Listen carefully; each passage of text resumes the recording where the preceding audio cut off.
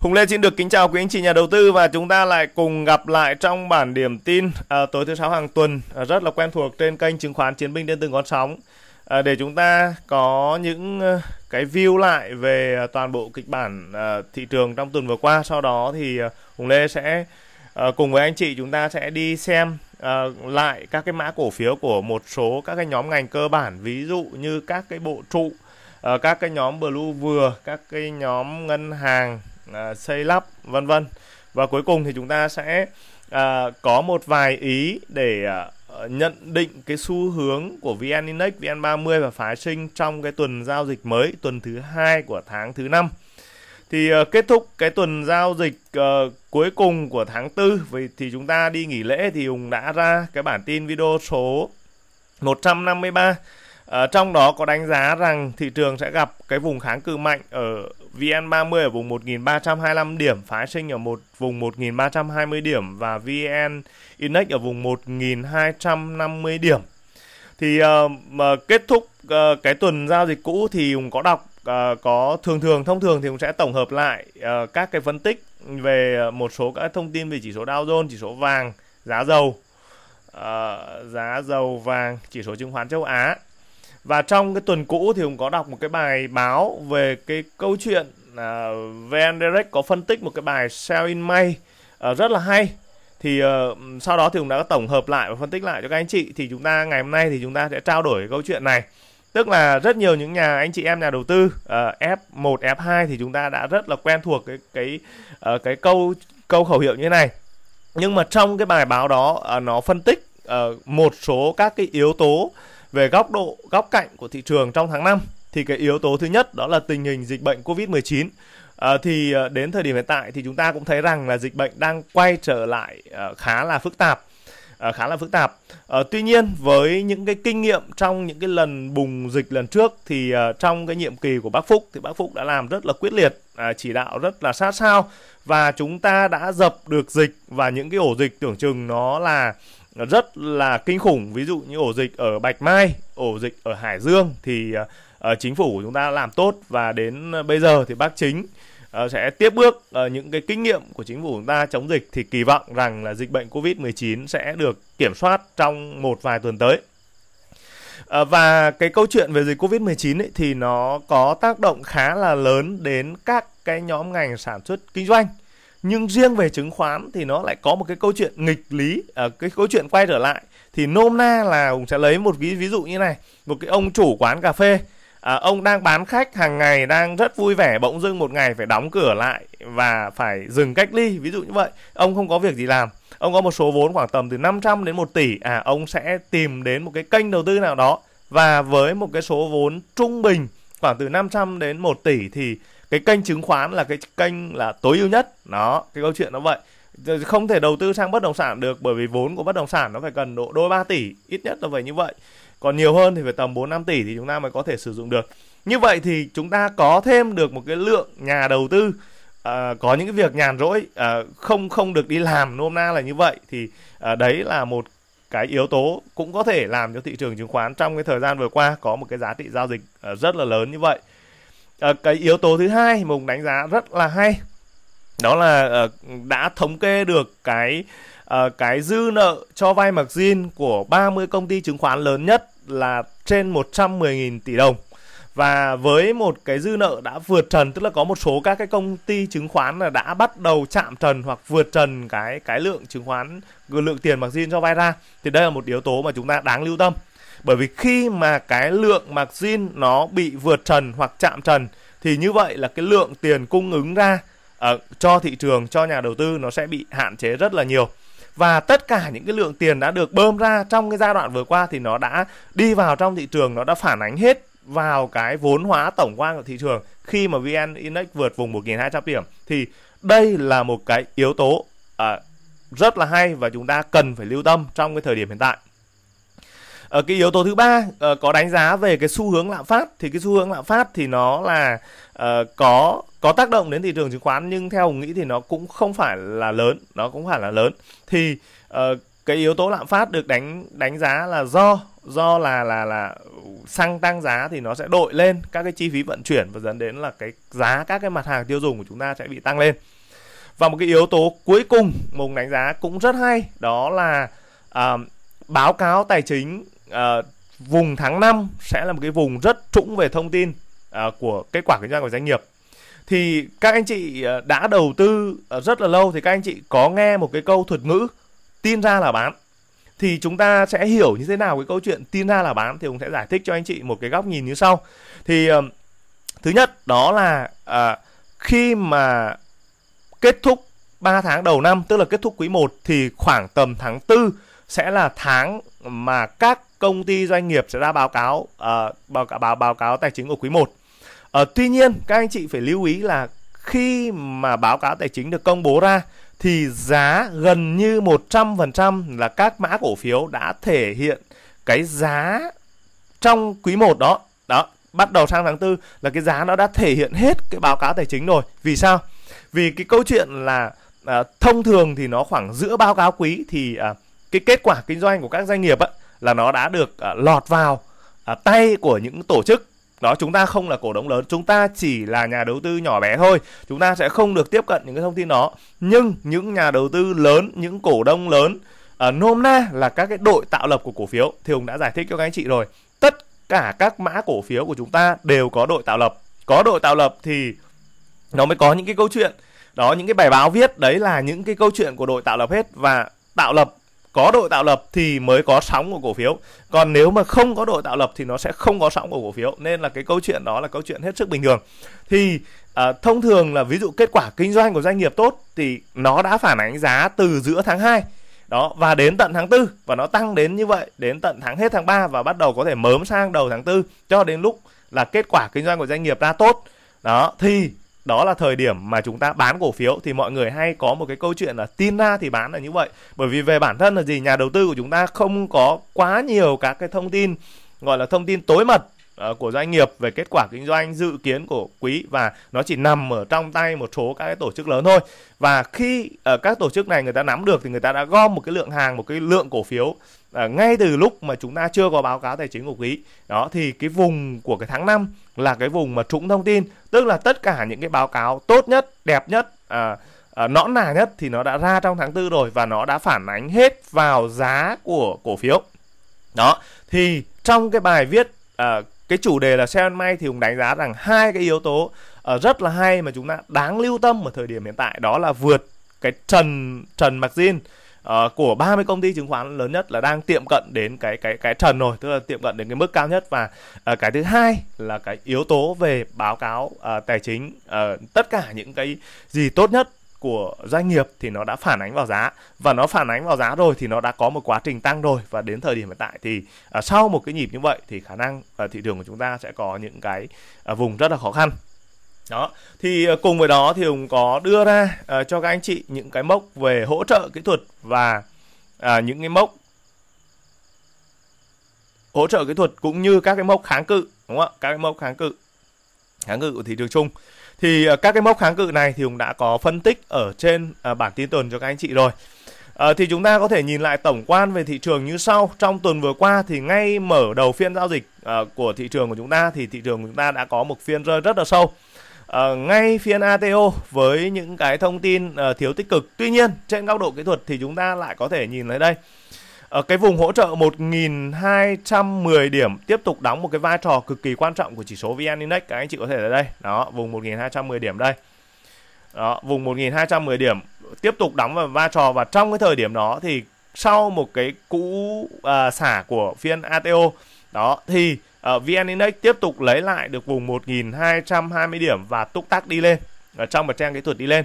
Ờ, ở VN30 cũng như vậy, chúng ta có thể nhìn thấy đây trong ờ, một cái diễn biến đó sau một cái cú đạp ATO đó thì thị trường của chúng ta có những cái điểm test cung và tại cái thời điểm phiên giao dịch của ngày thứ hai thì cũng đã có phân tích khá là sâu ở các cái đường đi nước bước của chỉ số VN30, chỉ số VN30 F1M và VN Index.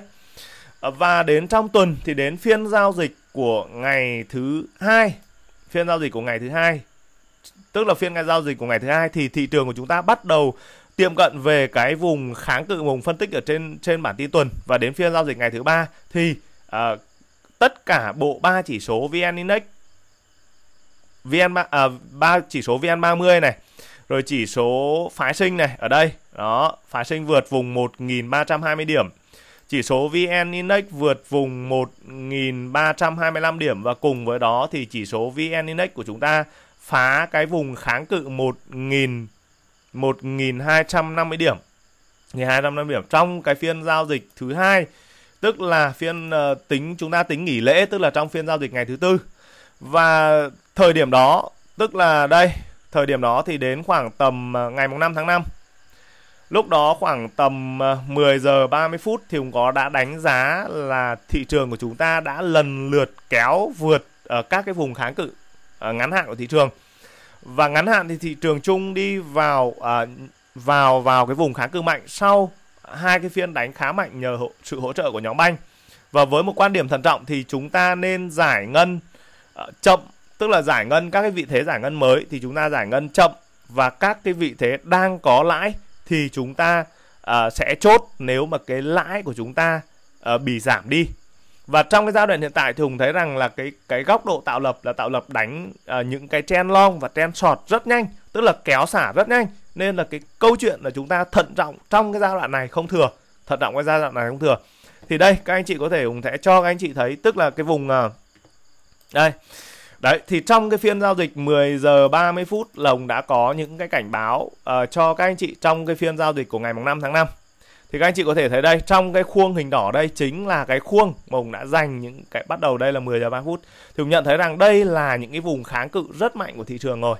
Đây là trong cái khuôn màu đỏ này là 10 giờ 30 phút và đến đây là 14 giờ 45 phút tức là kết thúc của cái uh, cái cái phiên giao dịch của ngày mùng 5 tháng 5 thì cũng có đánh giá rằng là về khi thị trường đã về đến cái đoạn này rồi thì chúng ta nên nên hạn chế các cái vị thế đua giá xanh. Đó, các cái vị thế đua giá xanh nó rất là nguy hiểm. Đó cùng với đó thì các anh chị có thể nhìn thấy đây đây vn30 thì cũng tại thời điểm đó đúng không chúng ta sẽ xem đây này 10 giờ đây là 10 giờ các anh chị nhé đây là 11 giờ thì cái cung giờ đây. Tức là lúc đó thì vn30 bắt đầu cũng chạm vào uh, cái vùng ở đây. Và từ cái điểm này đến điểm này đấy chính là cái điểm bùng Lê uh, ờ, khuyến nghị các anh chị tuyệt đối là hạn chế thôi. Tức là cái câu chuyện là chúng ta phân tích thì chúng ta bảo là hạn chế những cái điểm mua đua giá xanh.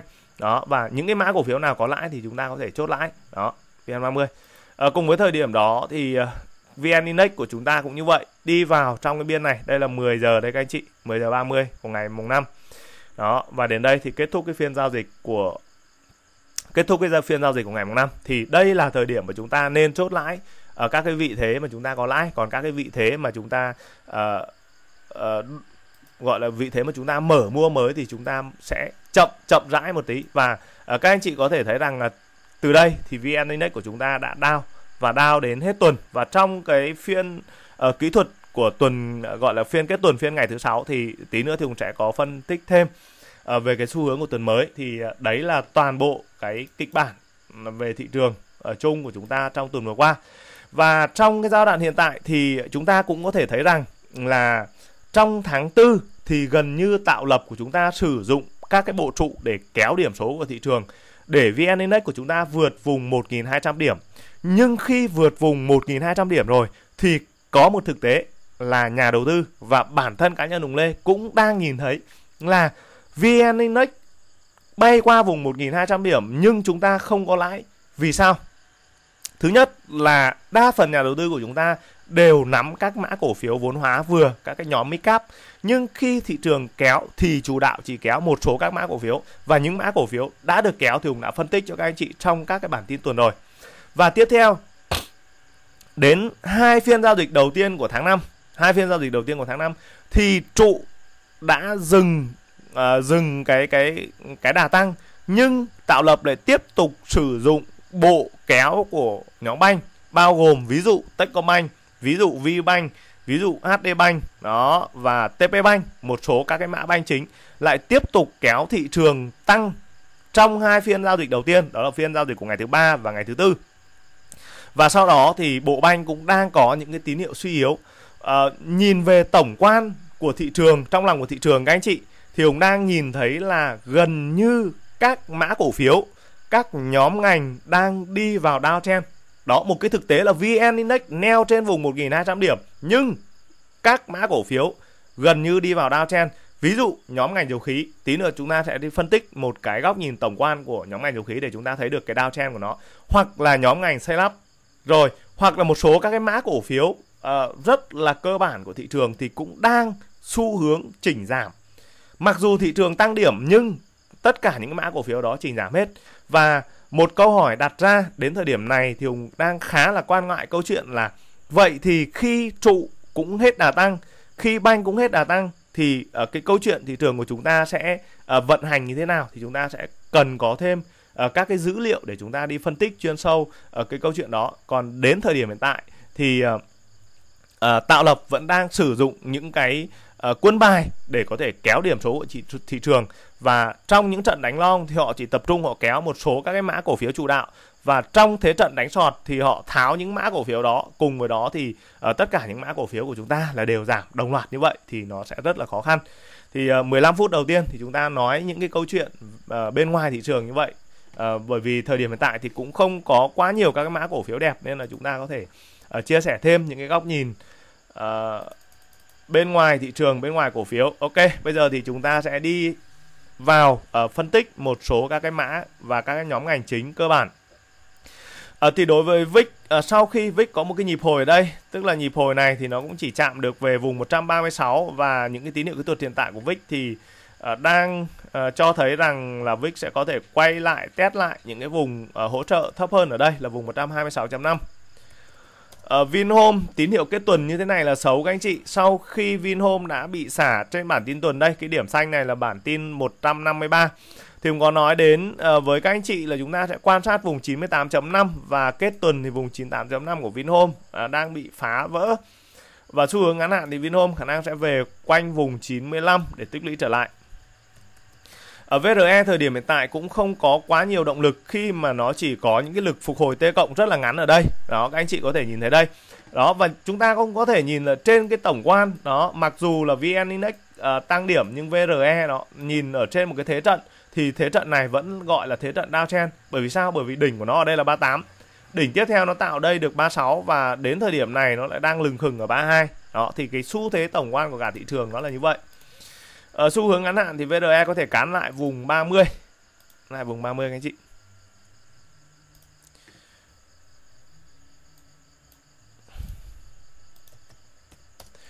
Uh, Sapico uh, chúng ta đang phân tích một sóng giảm và với tín hiệu hiện tại thì Sapico trên bản tin tuần đã chính thức bị mất vùng 160 và với xu hướng này thì nó sẽ đi về vùng 150 mất vùng 150 thì khả năng là xu hướng uh, sẽ bị đạp tiếp bởi vì trong cái trang kỹ thuật ngắn hạn đường mát đang cắm đầu như thế này thì cổ phiếu gần như là không có những cái cơ hội tăng tốt. Uh, Vinamilk Vinamilk cũng như vậy. Vinamilk uh, chính thức là đi vào một cái sóng giảm từ vùng 110 sau đó chúng ta đi phân tích những cái sóng hoàn tà là vằn ở đây. Ờ, và sau những cái điểm phân tích đó thì trên bản tin tuần um, trên cái bản tin uh, kết thúc tuần uh, thì chúng ta đã nói đến câu chuyện ở Vinamilk bị mất vùng 95 và khi bị mất vùng 95 thì cơ bản nó sẽ là xấu và đang dự dự phóng cái câu chuyện là có thể đi về vùng 90 hoặc sâu hơn sẽ là vùng 87 thì kết thúc tuần là Vin Vinamilk đã đi về vùng 87 như vậy là một cái xu hướng chỉnh giảm rất là mạnh của Vinamilk. À, về mặt kỹ thuật thì uh, với một cái đà như thế này thì khả năng Vinamilk sẽ chưa thể ngừng rơi. Và phiên ngày thứ hai thì các anh chị quan sát ở vùng 85 vùng 85 mà bị mất thì như vậy nó sẽ khá là xấu đối với mã cổ phiếu này. Ờ, ở GTN GTN thì phiên ngày hôm à, phiên ngày thứ ba à, phiên ngày thứ tư thì GTN đã có một phiên bắt trần. À, thì trong cái thời điểm hiện tại à, chúng ta đang phân tích một cái sóng giảm của cổ phiếu GTN đấy các anh chị và đến đây thì chúng ta đang dự phóng ở khoảng vùng 16 à, ờ, sau một cái phiên tăng trần thì cổ phiếu này đang có những cái điểm trả cung và ông đánh giá rằng điểm 17.5 sẽ là điểm trả cung thứ nhất. À, điểm này mà không giữ được thì xu hướng sẽ à, xuống vùng 16 và ở đây thì chúng ta sẽ cần thêm các cái tín hiệu kỹ thuật thì chúng ta mới tiến hành bắt đáy. Ở VLC đến thời điểm hiện tại thì nó cũng đang đi về cái vùng hỗ trợ tương đối mạnh ở đây rồi, vùng 28 đến vùng 29 và bản thân thì cổ phiếu này thì chúng ta sẽ ở góc độ là chúng ta gom từ từ và gom dài ở trong một cái vị thế đánh dài ở nhóm ngành hàng không thì rõ ràng các anh chị cũng biết là khi dịch bệnh quay trở lại thì very uh, ờ, nhóm ngành hàng không vận tải nói chung và nhóm ngành hàng không nói riêng thì nó uh, khá là khó khăn và đến thời điểm hiện tại thì VDC cũng đang phân tích một sóng xuống từ vùng 140 sau một nhịp hồi và tiếp tục đi. À, và cái nhịp uh, trên bản tin tuần thì chúng ta dự báo về cái vùng hỗ trợ của VDC có thể uh, sẽ bị đạp xuống ở quanh vùng 117.5 ở trên bản tin tuần à, trên uh, phiên kết tuần thì đã có những lúc mà VDC đã nhớm gần nhớm chạm đến cái vùng này và kết phiên thì có một cái lực kéo lên uh, nhẹ nhẹ đây. À, tuy nhiên nhìn trên góc độ về dòng tiền đang tiếp tục suy yếu đường mác cắm đầu như này và à, với một cái thế trận hiện tại về dịch bệnh quay trở lại như vậy thì nhóm ngành hàng không sẽ chịu rất nhiều những cái tác động xấu. À, cổ phiếu HVN à, ờ, đến thời điểm hiện tại là HVN đã bị đưa vào diện cổ phiếu bị cảnh báo. Một doanh nghiệp hàng đầu của Việt Nam đúng không ạ? Và một cái con chim đầu đàn trong cái nhóm ngành hàng không à, chính thức à, bị đưa vào diện bị cảnh báo tức là diện nguy hiểm và uh, tính cái lãi uh, tính cái lỗ ròng của năm 2020 là HVN đã lỗ trên 10.000 tỷ uh, một con số cũng tương đối lớn. Và với dịch bệnh tiếp tục quay trở lại như thế này thì HVN sẽ tiếp tục gặp khó khăn. Đó cái câu chuyện là có một số các bài báo có viết là liệu rằng HVN có bị ngừng giao dịch hay không liệu rằng HVN có bị phá sản hay không thì câu chuyện đó nó phụ thuộc vào chính phủ. Bởi vì với nếu mà với một doanh nghiệp tư nhân thì xin thưa cam đoan với các anh chị rằng sẽ phá sản. Nhưng vì nó là doanh nghiệp nhà nước và nó đang có những phần vốn của nhà nước ở đó thì ờ, ờ, nhà nước ờ, và chính phủ sẽ có những biện pháp kỹ thuật như thế nào đó thì cái đó câu chuyện chúng ta sẽ chưa bàn. Nhưng về ngắn hạn là HVN đang xấu. Thì chúng ta xấu nên là chúng ta đã phân tích một sóng xuống và ông đã dự dự kiến nhé, dự kiến là có thể về cái vùng 27 này là có thể phục hồi lại được ở đây. Tức là chúng ta tính toán một cái điểm bắt điểm cầu bắt đáy ở đây. Tuy nhiên cái điểm cầu này là nó không ổn rồi các anh chị đúng không ạ? À, sau khi T3 thì phiên kết tuần thì HVN đang chạm lại về vùng 27 đây và cái vùng này là cái vùng cực kỳ nhạy cảm. Nếu như phiên ngày thứ hai bị một cây nến đỏ đè gãy vùng 28 như vậy thì cái xu hướng của HVN sẽ tiếp tục bị bị đau các anh chị nhé. Đó. Ở chúng ta sẽ không chống lại xu hướng của cổ phiếu và không chống lại xu hướng của thị trường. Chúng ta sẽ phân tích theo các cái tín hiệu kỹ thuật. À, về mặt ACV, ACV cũng như vậy, à, nó đã có một cái nhịp à, phục hồi ngắn ở đây và xu hướng ngắn hạn thì lại đi về vùng 70 và các anh chị sẽ quan sát ở vùng 70. À, đối với cổ phiếu AST à, trong cái cái kịch bản vùng có phân tích cho các anh chị trong tuần cũ đó là khi mà cổ phiếu này chạm về vùng hỗ trợ 53 thì có thể có một lực phục hồi ngắn ở đây. Và sau cái lực phục hồi đó thì uh, cổ phiếu sẽ phải test lại cung ở vùng 55 không gãy. Đó. À, tuy nhiên đây là một cái phiên mà à, AET à, không vượt thoát được cái vùng 55 ở đây. Chính vì nó không vượt thoát được cái vùng 55 ở đây nên là cái xu hướng nó quay lại nó test nền và phiên kết tuần thì nó cũng à, test nền ở đây, test nền 53 bị thất bại. Nên là cái xu hướng là nó lại quay lại, nó lại quay lại cái xu hướng giảm giá. À, và đối với AST thì như vậy là chúng ta phải uh, kích hoạt lại cái vùng 50 Ờ, ở đây cái vùng hỗ trợ 50 tức là xu hướng là sẽ à, chỉnh giảm tiếp tục về vùng 50 và nhóm ngành hàng không thì gặp khá nhiều khó khăn. Trụ BVH trong một góc nhìn ờ, về tổng thể về BVH thì cũng có đánh giá cái vùng hỗ trợ của nó ở vùng 57.5. À, ờ, cái điểm này thì chúng ta bắt đáy được 1, 2, 3 lần thành công và điểm này thì bắt 57.5 thì về mặt lý thuyết là T3 sẽ không chết đó nhưng đến thời điểm là sau cái thời điểm mà chúng ta mua xong thì cổ phiếu nó không tăng và à, những cái phiên mà nó lình xình ở quanh cái biên 55 đến biên 56 thì chúng ta có thể gọi là tạm chấp nhận được nhưng phiên kết tuần như thế này. Tức là lực bán bị đè gãy vùng 55 và khi cái lực bán bị đè gãy vùng 55 thì xu hướng nó sẽ đánh về vùng 50 cổ phiếu Mansan họ nhà Mansan thì uh, trong uh, trận đánh trước thì Mansan cũng là một cái mã cổ phiếu góp phần vào điểm số của VN Index rất là lớn. Uh, và sau sau cái điểm mà đánh break nền dự kiến lên được vùng 115 ở đây thì cổ phiếu Mansan đã quay trở lại về test nền và trong ngắn hạn thì chúng ta quan sát vùng 95 và sâu hơn thì cho phép vùng 93.5 còn vùng 93.5 thì cái cơ hội để Mansan bật lại là còn còn cái vùng 93.5 bị đè gãy thì đấy là một tín hiệu à, khá là xấu của cổ phiếu. À, MML trong thời điểm hiện tại thì cũng không có nhiều cái dư địa đó là vùng hỗ trợ ngắn 53 và cái, cái vùng kháng cự ở đây đó là khoảng vùng 58 thì nôm na là hỗ trợ thì chúng ta có thể cân và kháng cự thì chúng ta canh để chúng ta bán. À, MSR trong bản tin tuần uh, trong bản tin tuần video 153 thì chúng ta có nói đến cái vùng hỗ trợ 20 à, và trong tuần thì gần như là cổ phiếu này giao dịch dưới vùng kháng cự và phiên kết tuần thì nó đã bị phá vỡ vùng 19 như vậy là xấu à, thì cái xu hướng kỹ thuật là khi cổ phiếu bị phá cái vùng hỗ trợ 20 ở đây thì xu hướng nó sẽ đi lại về vùng 18 vùng 18 mà nó không tích lũy lại được thì nó sẽ đi về vùng 16 đến vùng 16.5 và xu hướng tổng thể của MSR thì nó cũng đang thiên về kịch bản giảm giá. MVWG và PNG ở ờ, MVWG thì ờ, trong cái kịch bản mà chúng ta có nói đến, đó là chúng ta sẽ kỳ vọng MVWG sẽ test lại vùng 140 không gãy và lực cầu tiếp tục quay trở lại ổn định thì cổ phiếu này sẽ tiếp tục kéo. Ở trên trang kỹ thuật tuần thì chúng ta thấy rằng trong tuần nó có một cái điểm đánh sâu ở vùng 138 và và kết phiên thì nó cũng lấy lại được gần biên 140 và gần như thì cả tuần thì nó đều giao dịch ở trên cái biên 140. À, ngắn hạn thì các anh chị có thể quan sát những tài khoản cầm có thể quan sát vùng 138 đến vùng 40 nhìn nôm na thì chúng ta có thể thấy rằng vùng 138 mà không bị phá vỡ. À, thì như vậy đó là một tín hiệu kỹ thuật uh, khá là ok. Còn nếu mà vùng 138 bị phá vỡ uh, như vậy thì chúng ta cần phải tính toán các cái điểm hỗ trợ sâu hơn của cổ phiếu ở dưới này. PNG uh, ờ, mục tiêu lên đến 100 và trên thực tế thì chưa đạt được mục tiêu và cổ phiếu đang lừng khừng đi ngang ở trên cái điểm biên break. Uh, thì trong ngắn hạn chúng ta sẽ lấy cái cận uh, lấy cái cái cái mốc hỗ trợ là 93.5 sẽ là cái biên chốt chặn cuối cùng của PNG. Uh, trường hợp PNG bị mất 93.5 như vậy đấy là một tín hiệu kỹ thuật xấu và chúng ta cũng cần phải bán cổ phiếu để giữ lãi. À, phân tích một số các nhóm ngành nhựa thì Bình Minh, Bình Minh cũng đã xuất hiện một cái lực hồi T cộng ở đây.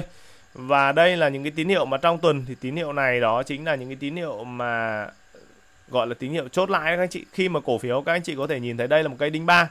Đó thì các anh chị hoàn toàn có thể hiểu được nôm na là cái cây nến này nó có ý nghĩa như thế nào và cây liền sau nó thì nó có một cái tín hiệu kỹ thuật xác nhận cho cái xu hướng của cây nến trước đó thì như vậy là xu hướng cao là Bình Minh sẽ về lại vùng 58. Ờ, cổ phiếu ba con A cũng đã sau à, sau khi mà có một lực hồi T cộng đây, cổ phiếu quay lại test lại nền. Và hiện tại thì test lại nền 15.5 đang có dấu hiệu bị vi phạm, đang có dấu hiệu bị vi phạm ở đây. Phiên ngày thứ hai mà không đè lại được vùng 15.5 mà có một cái tín hiệu xác nhận, tức là có một cái cây nến đỏ tiếp theo đây thì như vậy đó là một cái tín hiệu kỹ thuật xấu của cổ phiếu Baona. Ờ, với tín hiệu này xuất hiện thì uh, cổ phiếu sẽ đao về khoảng vùng 14 Ở DAG cũng như vậy, DAG ở đây thì chúng ta thấy rằng là sau khi mà chúng ta phân tích được một cái nhịp target ở đây tương đối là đạt này thì cổ phiếu chỉnh này có một nhịp hồi kỹ thuật này. Nhịp hồi này nó phải đảm bảo là nó test cái cung 6.3 không gãy nhưng uh, đến trên bản tin tuần À, tức là tuần giao dịch mới chúng ta có biến 4 phiên giao dịch ở đây thì nó đã mất vùng 6.3 và chính vì mất vùng 6.3 nên là cổ phiếu đó khá là xấu. À, phiên kết tuần thì nó đang đóng cửa ở vùng 6 ở đây thì các anh chị lưu ý à, nếu phiên ngày thứ hai bị phá 6 thì nó xuất xuất hiện một cái sóng gọi là cái sóng xê chỉnh ở đây và sóng xê chỉnh thì có thể nó sẽ đi về tận vùng 5.5 đến vùng 5.6 nên mọi anh chị lưu ý mà đang cầm thì chú ý. PLP thì ờ, cũng như vậy uh, xuất hiện một cái lực hồi T cộng ở đây và lực hồi này thì cũng đang có dấu hiệu kết thúc khi mà phiên kết tuần lại uh, bắt đầu chạm lại về vùng 9.5 thì cái vùng 9.5 này là vùng đệm rất là quan trọng của PLP nếu mà bị gãy thì đấy cũng là một tín hiệu rất là xấu và chúng ta cần phải uh, bán cổ phiếu. Bán cổ phiếu bởi vì nó sẽ xuất hiện một cái sóng C chỉnh ở đây thì nó sẽ có thể đạp về lại nền 8 đây đạp về lại hỗ trợ đây chính là ở đây đó thì các anh chị cũng có thể nhìn thấy nhìn chung các nhóm ngành là đau hết không có thằng nào trụ được cả. Đó mà vn index của chúng ta thì vẫn trên 1.200 điểm đấy là ngụy dân thôi lừa lừa mắt nhà đầu tư thôi.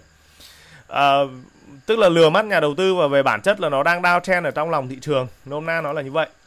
Uh, G thì à, trong bản tin tuần cũ chúng ta có đánh giá một cái kịch bản là sẽ kéo G và điểm test kỹ thuật mà đã nói rồi. Ở quanh vùng 52 thì chúng ta có hai phiên test lại vùng 52 và kéo lên với lực cầu tương đối ổn định. Ở xu hướng hiện tại của Ri thì có thể Ri sẽ đi về vùng 57 58 về đến vùng này thì cũng canh mà chốt, đoạn này thì cứ đánh ngắn thôi. Cứ có lãi là chốt rồi, mừng rồi. cầm dài cầm lâu là nó sọt cho một phát lại lại ốm đòn. Ờ, uh, FPT trong thời điểm hiện tại chúng ta cũng không có nhiều uh, các cái phân tích định lượng. Vùng uh, biên 79 đến vùng 85 đây là biên mà Hùng Lê đã phân tích cho các anh chị rồi. Đó thì uh, có chăng thì 79 7 795 80 chúng ta cân và đến cái vùng kháng cự thì chúng ta bán ra. Ở trong một cái thời điểm ngắn như vậy sau đó thì chúng ta sẽ tính toán tiếp.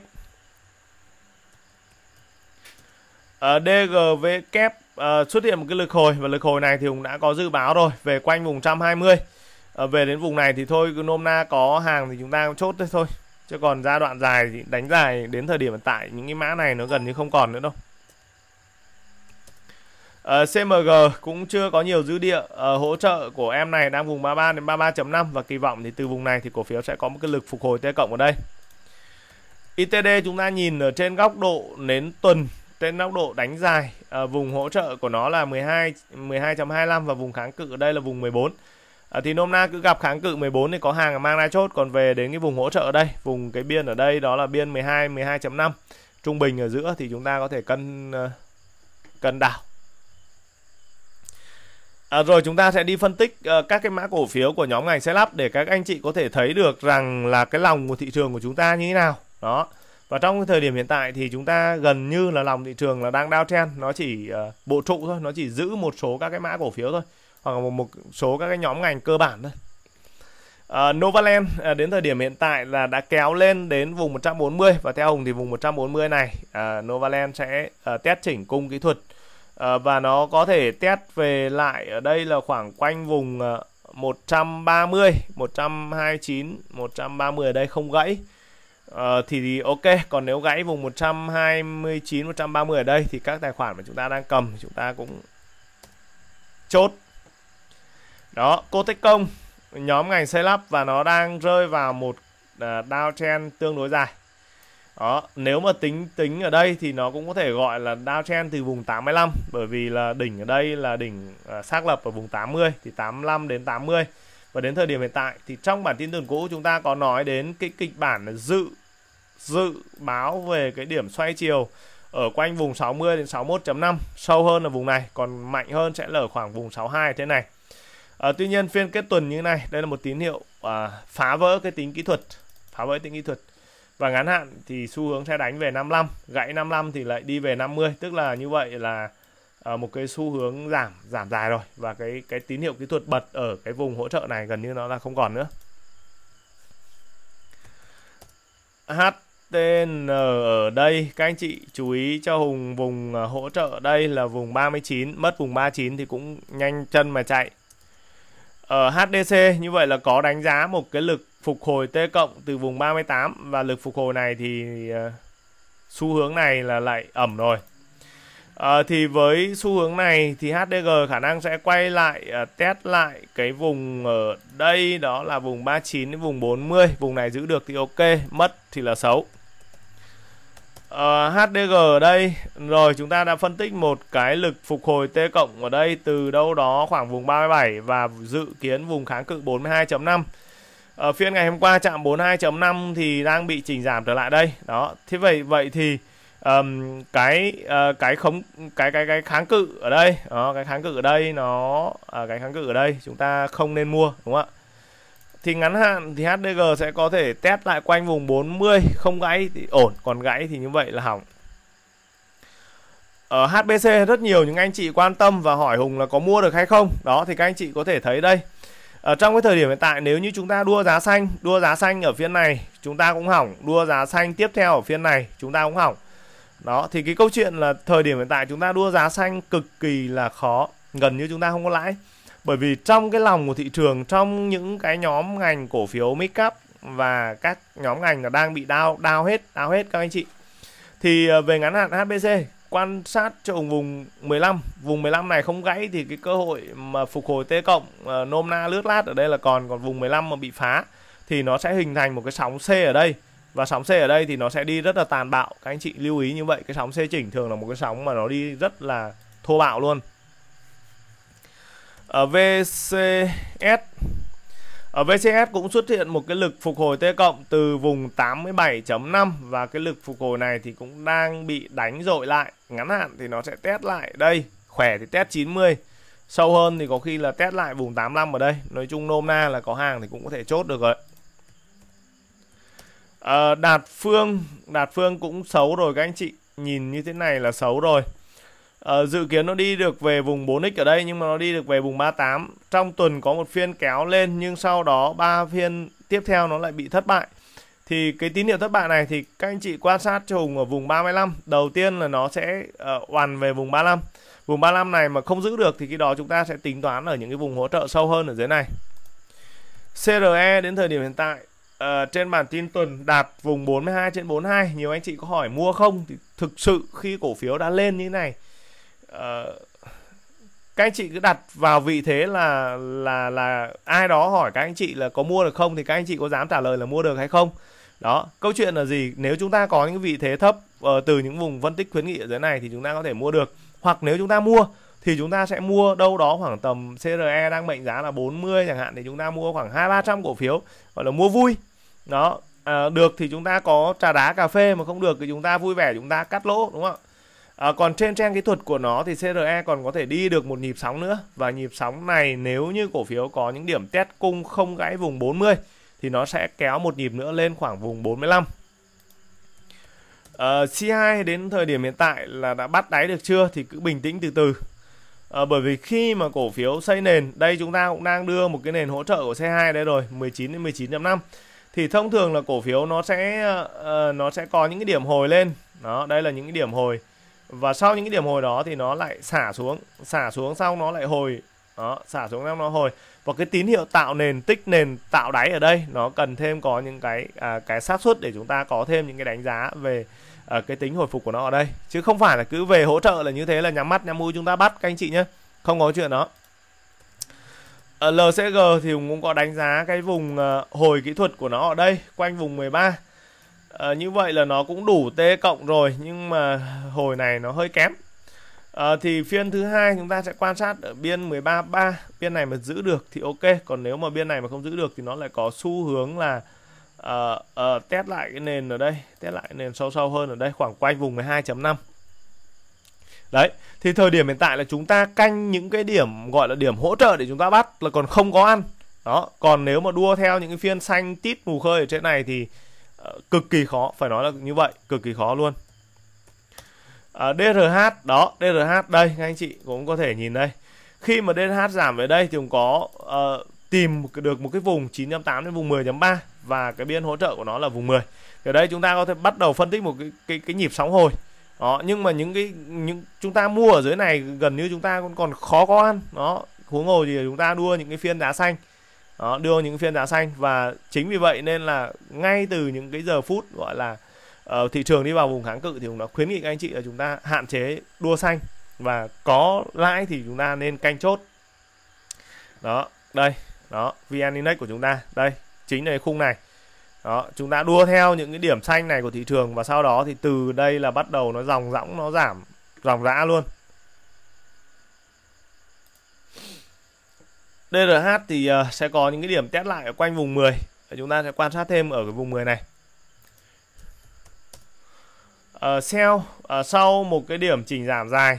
Đó thì uh, sell uh, bật lên. Bật lên xong lại quay lại test đây các anh chị này. Đó thì chúng ta cứ bình tĩnh thôi. Trong những cái đoạn này uh, dự báo là cổ phiếu có thể tạo nền ở vùng này thì chúng ta chia nhỏ điểm mua ra. Ví dụ vùng 10 ok vùng 10 chúng ta có thể mua uh, ờ, 10% đúng không ạ? Rồi vùng 9.5 chúng ta có thể mua thêm 10% thậm chí là về vùng 9 chúng ta mua thêm 10% như vậy là chúng ta có ba cái điểm mua ở cái vùng tạo đáy là khoảng tầm 30% À, ờ, mặc dù chúng ta phân ra như vậy nhưng cổ phiếu hoàn toàn có thể bị gãy chín.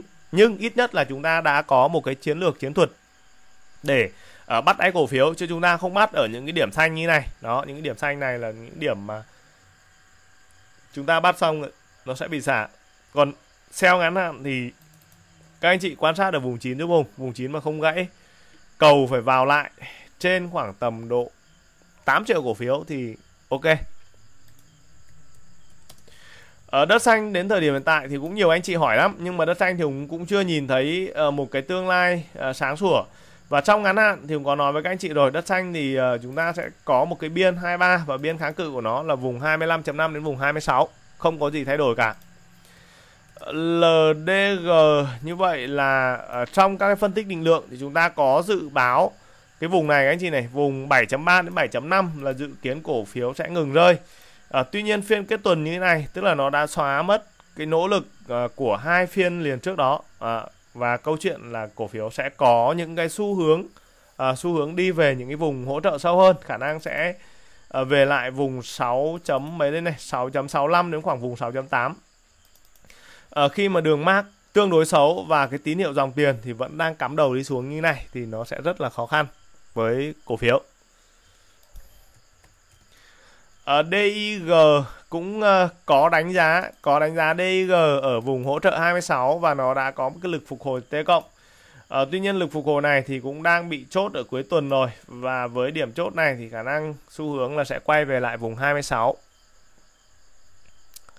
Cổ phiếu IDC IDC cũng có phân tích một cái kịch bản hồi. Kịch bản hồi thứ nhất là từ vùng 32 sâu hơn là vùng 3x. À, ờ, thì trong ngắn hạn thì e, ờ, IDC cũng đang uh, giao dịch tương đối là tốt thì cái vùng dự kiến có thể cán lại đó là vùng 36.5 thì về đến vùng này uh, chúng ta bắt được thì chúng ta chốt ngắn các anh chị nhé bởi vì đoạn giai đoạn hiện tại khá là khó khăn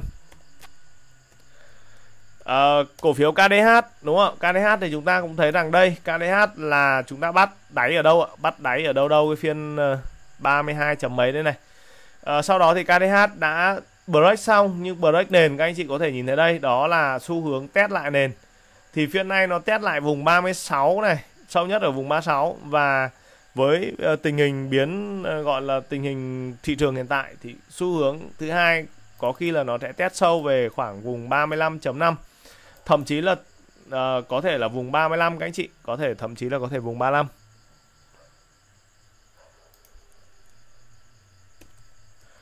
Uh, NRC uh, NRC thì sau một cái quá trình chỉnh giảm thì cũng đang dò lại cái vùng hỗ trợ của nó đây 20 đến 20.6 và dự kiến sẽ có một cái lực uh, phục hồi T cộng ở đây đúng không ạ? Phục hồi T cộng ở đây. Ờ, uh, HU4 rồi đó thì ờ, thay vì cái câu chuyện là chúng ta mua ở những cái vùng kháng cự đây thì Hùng đã à, cố tìm gắn à, ờ, tất cả các mã cổ phiếu là chúng ta đều cố tìm một cái vùng hỗ trợ nhất định nào đó trên phương diện phân tích kỹ thuật. Thiếu vốn lòng có đánh giá ở đây là vùng 15.2 đó thì chúng ta mua ở quanh cái vùng hỗ trợ này thì cái cái độ nếu có lỗ thì nó sẽ lỗ nhẹ nhàng hơn so với việc là chúng ta mua ở những cái đỉnh kháng cự ở trên này à, thì hầu 4 đang có xu hướng test lại thì test lại đây là vùng 15.2 à, ờ, chúng ta có thể quan sát thêm phiên ngày thứ hai à, nếu vùng 15.2 bị gãy và sau đó có một cây nến xác nhận thì như vậy là tín hiệu à, tạo đáy tạo nền ở cái vùng 14 à 15 2 của hấu 4 bị thất bại. Rồi chúng ta sẽ chuyển qua đi phân tích uh, các mã cổ phiếu của nhóm ngành dầu khí. À, thì uh, dừng lại ở đây để chúng ta nói về nhóm ngành xây lắp thì gần như các anh chị cũng có thể thấy rằng là sau một cái giai đoạn trưởng thành của thị trường thì gần như cái xu hướng chủ đạo của à, à, các cái nhóm ngành là gần như nó đang bị đau hết, đau chen Chính vì vậy nên là chúng ta thấy rằng là VN Index vẫn ở vùng 1.200 điểm. À, mọi người phân tích kỹ thuật thì vẫn thấy là à đẹp lắm, VN vẫn ở vùng đấy. Nhưng mà tài khoản của chúng ta không tăng bởi vì lòng thị trường của chúng ta đang bị đau chen Tức là cái chỉ số VN Index, chỉ số VN30, chỉ số phái sinh nó đang che mờ đi. À, nó nó đang làm nền, ờ, nôm na nó đang làm nền. À, cho những cái tước phim và những cái tước phim mà thực tế đó là những tước phim mà tạo lập đang đạp đang đạp nhóm make up và đạp hay là chốt lãi hay là làm một cái động thái gì đó thì bây giờ chúng ta cũng sẽ chưa có thể đánh giá được hết. Nhưng uh, nhìn chung là những cái nhóm ngành make up đang bị chốt khá là mạnh đó thì chúng ta sẽ nhìn tổng quan của nhóm ngành dầu khí. Thì các anh chị cũng sẽ mường tượng thấy được một một cái phần nào đó của cái uh, xu hướng thị trường ở trong thời điểm hiện tại. Thì gas đã tạo đỉnh uh, có thể nói là gas tạo đỉnh ngắn hạn lần hai ở vùng 95 và sau đó thì gas cũng đi. Thì trên một cái câu chuyện đa chen nó đi ấy, thì không phải là cứ nó đi một thẳng tức mà đi thẳng một mạch. Nhưng nếu chúng ta vẽ một cái đường thẳng từ vùng giá 95 đến thời điểm hiện tại là vùng giá 90 thì như vậy là gas đang đao chen đúng không các anh chị? Đúng không ạ? Đây nó đang đao đấy ạ. Tức là giá đỉnh của nó là 95 và nó đi dần dần nó đi dần dần và nó mất dần. Nó trôi dần về đến đây đó là vùng 80 thì như vậy ngắn hạn thì gas đang có những điểm tích lũy tạo nền lại vùng 80 nhưng xu hướng thị trường thì cũng đánh giá rằng là uh, cái lực bật của gas nó cũng chỉ là những cái lực bật mang tính chất T cộng. Vì vậy nên là chúng ta chỉ bắt khi mà có những cái vùng hỗ trợ thôi. Chứ chúng ta đua giá xanh đây đua những cái điểm phiên giá xanh như này là ngắn hạn trong ngắn hạn dài hạn thì cũng nói. Đó nhưng ngắn hạn là chúng ta sẽ bị các cái mức lỗ chắc chắn là như vậy. À, tiếp theo là PVS đó hai phiên đua xanh đúng không ạ? Chúng ta có thể thấy đây hai phiên đua xanh thì đến phiên uh, T0 T1 T2 là chúng ta đã bị lỗ rồi đó thì uh, về tổng quan của PVS cũng như vậy. Các anh chị có thể nhìn thấy đây. Đây là một cái downtrend của PVS nó nhìn thì như vậy thôi. Uh, nó đi lằng ngoằng như vậy thôi nhưng xét trên một góc độ tổng thể là PVS đang downtrend nó tạo được cái uh, đỉnh của nó ở đây là vùng 26 và nếu như chúng ta uh, nhìn nhìn nhìn gọi là nhìn thuần về kỹ thuật thì đây nó đang là một cái nhịp nhịp phục hồi T cộng của của PVS khả năng là như vậy và sau cái nhịp phục hồi tới cộng này nếu mà diễn biến thị trường mà dòng tiền mà không tốt nó lại đạp gãy như này. Tức là vô hình dung là nó đang đi vào một cái downtrend. Đó. Và nhiều anh chị có hỏi hùng là mua pvs không mua pvd không ở cái thời điểm hiện tại. Thì có mua thì chúng ta mua hỗ trợ chứ còn những cái phiên đua xanh này gần như không, không bao giờ hùng khuyến nghị các anh chị chúng ta đua hàng cả. Đó thì trong ngắn hạn thì như vậy là pvs sẽ có những cái điểm à, test lại ở đây test lại vùng 20 vùng 20 mà giữ được thì ok còn nếu vùng 20 mà không giữ được thì xu hướng cao là nó lại đi về cái kênh giảm giá. PVD đó PVD cũng như vậy. Ờ, uh, PVD đây các anh chị. Đó thì chúng ta nếu mà chúng ta nhìn ở trên một cái góc độ kỹ thuật thì chúng ta thấy rằng là uh, nó cũng đang đi vào một cái trend kỹ thuật giảm dài đó và trên cái thuật giảm dài này thì nó đang tạo đáy được ở khoảng quanh vùng 18 và đây ở từ vùng 18 thì nó bật cái một cái lực hồi T cộng ở đây.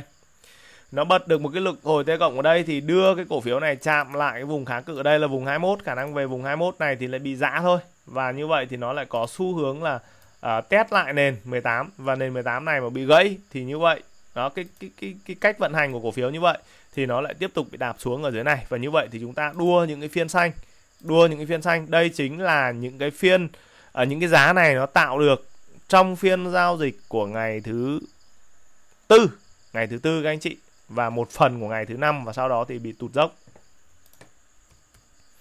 Ờ, ở PVT đến thời điểm hiện tại cũng không có quá nhiều cái dư địa. Đây chỉ là những cái lực phục hồi T cộng.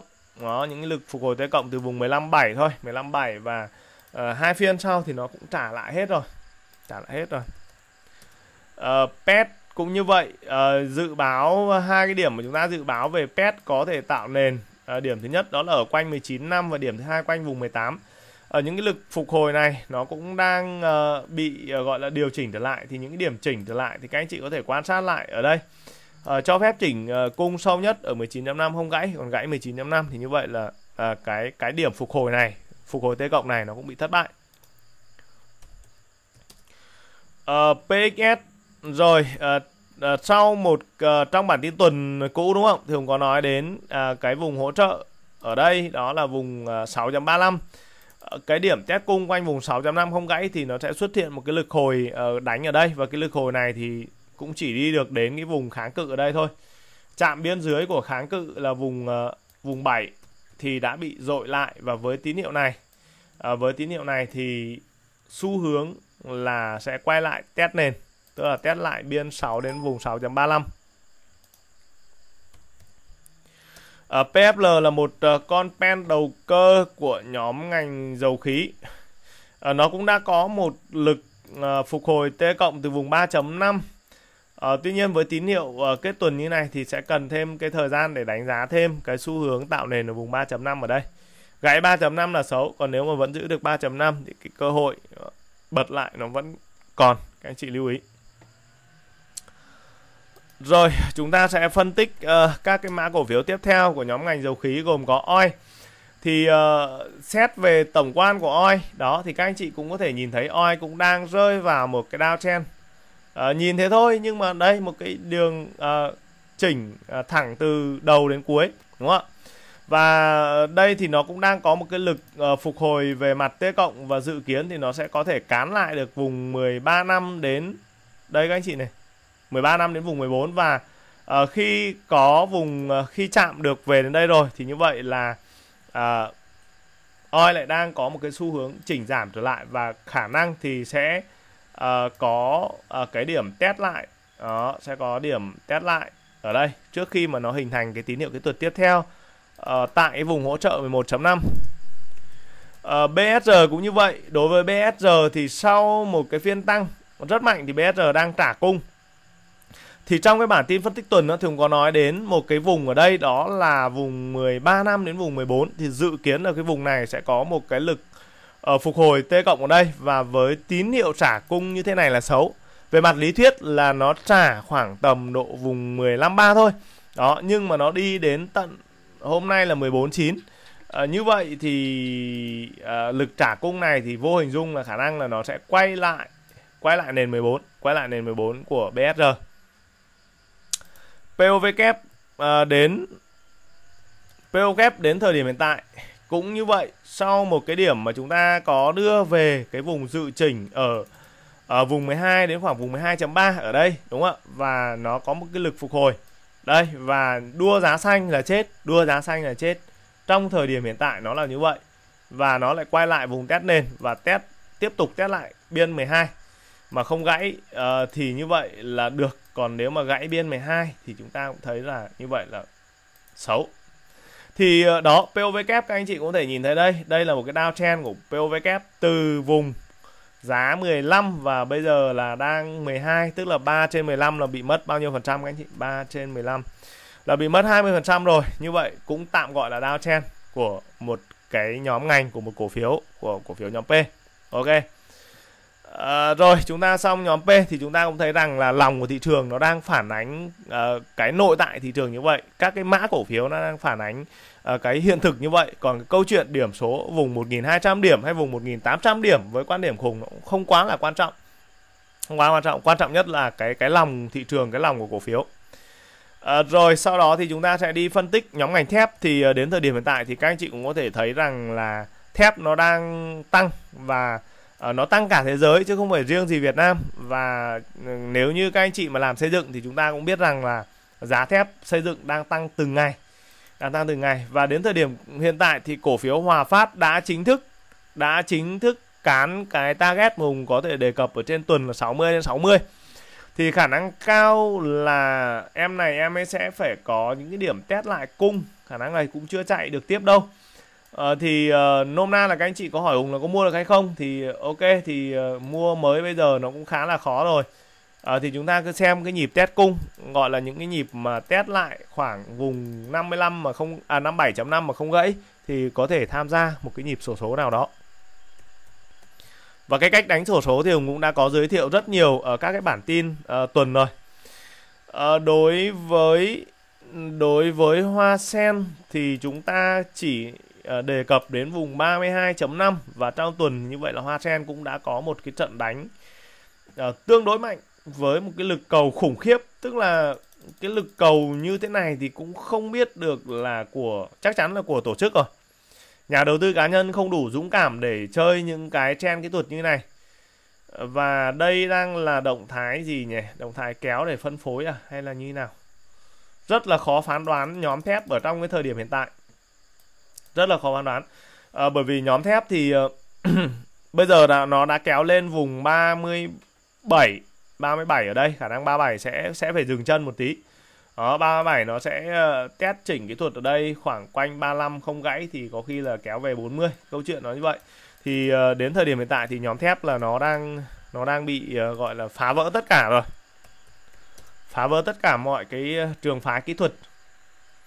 Ờ, uh, TLH thì trong bản tin tuần thì Hùng chỉ nói đến vùng 16.5 và chính thức thì uh, uh, tuần cũng nó cũng bị phá luôn cái kháng cự 10 10 10 16.5 và xu hướng này thì uh, TLH sẽ có thể cán lên vùng 18 cộng.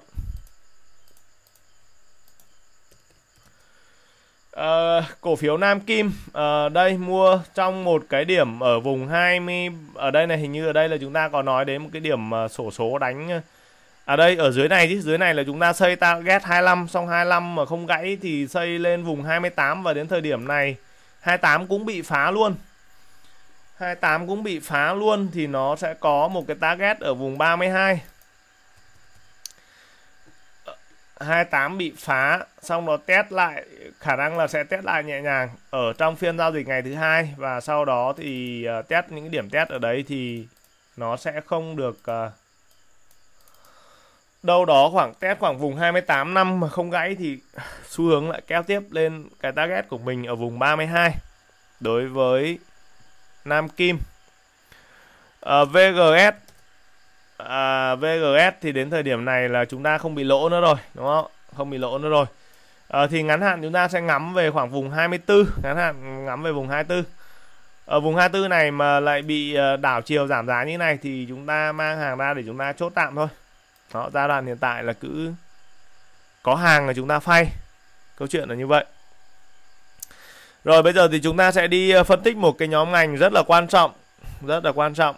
À, nó đã à, giúp cho thị trường à, có hai phiên giao dịch đầu tiên của tháng 5 rất là thăng hoa đó là nhóm banh thì à, đầu tiên chúng ta sẽ đi đến Vietcombank và à, đến nhóm banh thì bây giờ chúng ta sẽ dừng lời lại để chúng ta nói các cái yếu tố đặc điểm trong cái thời điểm vừa qua. Thì trong cái thời điểm vừa qua lồng thấy rằng tạo lập đang dồn một cái lượng tiền rất lớn. Chắc chắn rằng những phiên đánh uh, tách khoảng tầm độ 32 triệu cổ phiếu không nhà đầu tư cá nhân nào có thể làm được cái việc đó. Đó mà nó phải là tổ chức. Và tổ chức nào đó thì bây giờ hiện tại là vì chúng ta không biết. Chúng ta là nhà đầu tư cá nhân nên chúng ta rất là khó chúng ta phải chơi trong các cái đội nhóm lớn các cái đội cá mập á. Đó, thì chúng ta mới biết được. Chứ còn chúng ta là nhà đầu tư nhỏ lẻ và bản thân hùng lê thì cũng không biết. Chỉ nhận diện thấy là à có một cái dòng tiền rất lớn đang đánh một số các cái trụ banh. Thì uh, nếu nhìn ở góc độ tích cực nhìn ở góc độ tích cực là à cổ phiếu tốt thì tiền lớn đánh. Ở nhìn ở góc độ tiêu cực thì à tạo lập kéo những mã cổ phiếu đó để xả à, các cái nhóm ngành khác. Và chúng ta cũng thấy rằng là nếu như chúng ta nhìn vào à, cái cái nội tại của thị trường ấy thì đang thiên về kịch bản thứ hai bởi vì rõ ràng là Hùng Lê nhìn thấy trong lòng vòng phân tích rất nhiều các mã cổ phiếu. Đây là chỉ một số các mã cổ phiếu mà Hùng đưa lên bản tin tuần thôi. Còn tất cả những cái mã cổ phiếu Hùng view ví dụ như KSB, rồi ví dụ những cái mã cổ phiếu rất là cơ bản SRT đó, rồi những cái mã cổ phiếu uh, uh, về Vĩnh Hoàn, nhóm ngành uh, dệt may, rồi nhóm ngành uh, khu bất động sản khu công nghiệp đúng không ạ? Rồi nhóm ngành càng biển rồi nhóm ngành thủy sản gần như là không còn một cái mã cổ phiếu nào có thể chống chọi lại được với thị trường. Mặc dù là thị trường đang rất đẹp trên vùng 1.200 điểm là một con số mơ ước của rất rất rất nhiều nhà đầu tư của chúng ta đúng không ạ? Thì Vietcombank uh, ờ, nôm na em này thì em ấy là tạo lập về điểm số thôi. Và trong cái tạo lập điểm số đó thì chúng ta cũng sẽ nhìn thấy được cái vùng kháng cự 102 cao hơn thì vùng 105 ở ngày phiên kết tuần ngày hôm nay thì hỗ trợ 97.5 bị phá và khi hỗ trợ này bị phá thì khả năng thì nó cũng chỉ đi về đây thôi vùng 95 đến vùng 96 à, ờ, sâu hơn nữa thì nháy phát qua vùng 94 bởi vì uh, em này thì gần như cái cái cái cái nằm cái cái cái số cổ phiếu nó nằm trong nhỏ lẻ bây giờ gần như nó không còn nữa rất là ít. À, cổ phiếu ACB ACB đến thời điểm hiện tại thì chúng ta nhìn nhận ở trên góc độ như như thế nào? Đó thì chúng ta thấy rằng đây ACB cũng như vậy. Mặc dù là cổ phiếu lập đỉnh, cũng có thể gọi đây là đỉnh các anh chị. Bởi vì sao? Bởi vì đây thất bại nhá. Vùng 35.3 thất bại này, đây cũng thất bại. Đó, nhưng mà vẫn có một cái lượng lớn dòng tiền đánh trên 15 triệu cổ phiếu, thậm chí gần suy sát 20 triệu cổ phiếu đối với cổ phiếu ACB ở vùng đỉnh thì ai đang bơm tiền ở vùng này? Ai đang bơm tiền ở vùng này? Tại sao người ta không bơm tiền ở vùng này ạ? Đúng không ạ? Tại sao người ta không bơm tiền ở vùng này mà lại bơm tiền ở cái vùng kháng cự này? Thì đấy cũng là một cái câu hỏi mà chúng ta cũng cần phải suy ngẫm. Thì ờ, đối với ACB ngắn hạn thì chúng ta sẽ quan sát cái biên à, đây hùng vẽ đây rồi. Biên 34 đến biên 35.3 đây là cái biên mà dự kiến thì ACB sẽ có những cái biên đánh ngang đánh ngửa đây. À, còn nếu như mà thoát được cái biên 35.5 ok tôi đua với các bác làm nghìn cổ phiếu có làm sao ủng hộ đúng không ủng hộ các bác cho một cái target có thể đánh lên vùng 38 ví dụ như vậy. Còn trong tuần tới thì chúng ta chỉ ờ, nhìn ACB ở trên góc độ như thế này thôi. Cổ phiếu bit khá là nặng nề đúng không? Nặng mông quá. Bit đoạn này đánh hơi kém. Ờ, gần như hồi phục T cộng 3 và sau đó lại bị đạp lại nền. T0, T1, T2, T3 nói chung là T3, T4 À, thì đối với bit như vậy là hồi uh, test lại nền ở đây thì lại nền 40 40.5 cài lại trong các phiên giao dịch của tuần mới. CTG à, ờ, đó ví dụ như vậy thì CTG đến thời điểm hiện tại cũng như vậy nó có một cái lượng cầu rất mạnh đánh khoảng tầm 25 triệu cổ phiếu trên một phiên đối với công thương. Đó và thậm chí là đánh ở vùng đỉnh tức là ở cái vùng kháng cự rất mạnh ở đây vùng 44 là những cái vùng kháng cự rất mạnh thậm chí ở đây ở đây nếu mà gọi kháng cự mạnh của nó là vùng 42 cái 42 đến 44 đây là cái vùng kháng cự dày như thế này nhưng vẫn xuất hiện những cái lực cầu đánh tưng bừng ở đây đó đánh tương mừng ở đây thì đây là một cái dấu chấm hỏi lớn. Dấu chấm hỏi lớn. Ờ, bởi vì về mặt lý thuyết là à, cái doanh thu lợi nhuận của nhóm banh tốt thì nó đã phản ánh hết vào giá đấy rồi các anh chị này. Nó phản ánh hết vào giá rồi thì cũng đang nghi ngờ ở cái giai đoạn này. Đấy đoạn này phải giống tàu tháo mới được. Đấy. Không hiểu là cần phải giải mã cái này cần phải giải mã cái này. Không biết là dòng tiền đánh như này với mục đích như nào. À, còn ngắn hạn công thương thì cũng vẫn lấy vùng kháng cự của nó là 44 và vùng hỗ trợ test ngắn của nó là 42 tức là biên 42 đến biên 44 của công thương. Tạm như vậy. MBB cũng thời điểm này cũng như vậy cũng xuất hiện những cái lực đánh dòng tiền vượt trung bình 21 phiên và duy trì đều đặn ở vùng 24 đến 25 triệu cổ phiếu. Và đồng thời MBB cũng đang vận động ở vùng kháng cự 32 đó vấn đề là tiền dồn rất mạnh vào vùng kháng cự. Đó thì không biết là các bác định làm gì. Nhưng thôi thì ta cứ lấy biên 32 là kháng cự biên test ngắn 30.5 nghĩa là gì? Gãy 30.5 thì có thể xem xét hạ thị trọng. À, không gãy thì chúng ta cầm nắm thoát 32 test lại 32 không gãy thì chúng ta có thể cân mua thêm. Đó chúng ta theo theo theo các bác vậy. Đoạn này theo các bác. Ờ, Ở uh, Vbank Vivank thì đã có một cái trận đánh ờ, rất là mạnh ở đây và trong cái ờ, các độ kỹ thuật tuần thì cũng đã có chia sẻ với các anh chị. Sau khi mà nó xây được vùng 60 rồi á thì nó sẽ có những cái điểm test lại quanh 60 thì đây là hai phiên test quanh 60 tương đối đẹp. Lực cầu vẫn duy trì tương đối là ổn định. Uh, gãy 60 thì có hàng để bán các anh chị nhé còn không gãy thì chúng ta chờ lên 65 ta chốt bớt. Techcombank đến thời điểm hiện tại cũng duy trì được một cái lực đánh của dòng tiền cực kỳ là kinh khủng. 20 trên 20 triệu cổ phiếu một phiên. Trung bình là như vậy trung bình là duy trì được trên 20 triệu cổ phiếu một phiên. Như vậy là một cái tốc độ đánh của dòng tiền cực kỳ tốt. À, trong tuần thì tín hiệu kỹ thuật của Tech đến trong phiên giao dịch ngày thứ hai khi Tech đánh break vùng 42 và hiện tại thì đã đánh lên ở những cái vùng kháng cự cao hơn ở đây đó là vùng 46 à, ờ, sang phiên ngày thứ hai và phiên ngày thứ ba Tech có thể test lại 46 không gãy thì ở chúng ta sẽ căn cứ tình hình thực tế và khả năng Tech lại làm MV Bank thứ hai đánh ờ, vùng 46 mà không gãy là lại kéo tiếp để lấy điểm số của thị trường ví dụ như vậy ờ, ở TP Bank thì như thế nào nhỉ? TP Bank Chúng ta có nói đến đây, đúng rồi, hỗ trợ vùng 27 và kháng cự của nó, kháng cự dày của nó ở vùng 29.5 đến vùng 30. Nôm na là về đến đây thì ờ, đây là những cái vùng kháng cự các anh chị. Chúng ta có hàng chúng ta mang ra mà chốt về đến vùng hỗ trợ thì chúng ta lại có thể canh mua lại. Ok. HD Bank trong phiên ngày hôm nay cũng là một phiên giao dịch à, đột biến. Phiên giao dịch đột biến. Phiên ngày ờ, thứ tư Phiên ngày thứ tư thì nó đã có một phiên cũng đánh trên 15 triệu cổ phiếu. Sau đó có những điểm nhả cung nhẹ tương đối đẹp ở vùng 28.5. Và kịch bản là tạo lập đang dồn tiền để đánh banh break. Khả năng là như vậy. Uhm, với xu hướng hiện tại của HD Bank thì chúng ta sẽ lấy mốc 28.5 không gãy thì xu hướng sẽ kéo lên target khoảng vùng 32 đến khoảng vùng 32 đến khoảng vùng 33 của HD Bank uh, ờ, xu hướng hiện tại của HD Bank tương đối là đẹp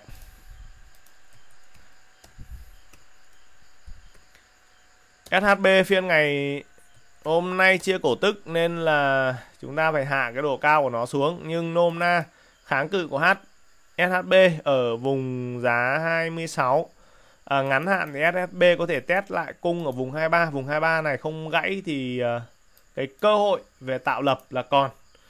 À, còn nếu mà vùng 23 mà gãy thì ờ, như vậy là xấu. Các anh chị lưu ý như vậy.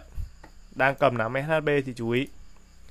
Liên Việt Postbank là một cái con pen của nhóm banh và đến thời điểm hiện tại thì Hùng vẫn đang xây uh, cho nó một cái kịch bản là đóng lên vùng 22 uh, ờ, vùng 22 là vùng kháng cự còn nếu mà thoát kháng cự 22 thì khi đó chúng ta sẽ đi uh, phân tích các cái động thái tiếp theo. STB đến STB đến thời điểm hiện tại thì dòng tiền cũng đánh tương đối là tốt và trong một cái target tuần mùng phân tích đó là kháng cự vùng 25 tức là mắc đạt được ở vùng 25 thì trong tuần là nó đang đi ở biên 24 đến biên 25 khả năng ngắn hạn thì STB sẽ có những cái điểm test dòng tiền đang có xu hướng quay đầu rồi thì nó sẽ có những cái điểm test lại vùng 23 đây đúng rồi vùng 23 à, nó test lại vùng 23 không gãy à, thì cái cơ hội để STB đánh lại vùng 25 và vừa thoát vùng 25 còn nếu gãy vùng 23 thì chúng ta cũng canh chốt bớt đó giai đoạn hiện tại là cứ bảo toàn uh, tính mạng cái đó. Ờ, uh, BBB đến thời điểm hiện tại thì cũng đã có một cái lực đánh khá là tốt. Thì khi mà BBB về đến vùng 15 cộng á, thì cũng đã phân tích cho các anh chị đây là vùng kháng cự. Uh, chúng ta có thể bán cổ phiếu đi và về đến về đến vùng 13 2 13 năm thì cũng có nói đến ở đây. Đấy là cái vùng hỗ trợ và chúng ta thấy rằng là hai tuần thì BBB xây cái vùng hỗ trợ tương đối tốt có một điểm nháy về vùng 13 nhưng mà sau đó lại kéo lại vùng hỗ trợ của chúng ta đây à, phiên này là một phiên xác nhận cái tín hiệu mà BBB bứt khỏi cái nền hỗ trợ và hai phiên kết tuần thì đang tương đối là ok. À, các điểm trả cung dự kiến khoảng quanh 14.3 không gãy thì như vậy là hợp lý để chúng ta có thể đánh tiếp. À, cổ phiếu VCI vùng kháng cự của nó ở đây các anh chị nhé vùng 65 đến khoảng vùng giá 67 vùng này mang hàng ra mà bán vùng hỗ trợ của nó ở đây vùng 585 đến vùng 60 thì ờ, lại có thể cân cân đo đong đếm ở vùng đấy.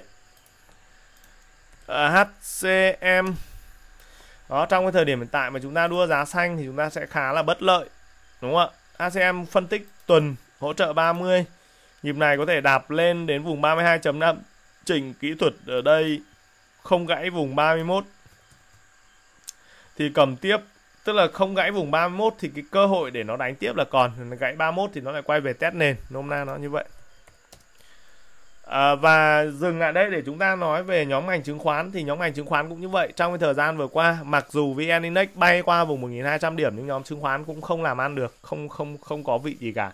Và cũng đang đang bị đi về một cái trend giảm. Ví dụ như đây ờ, à, RSI giảm từ vùng ba mươi mấy đã vùng kháng cự này.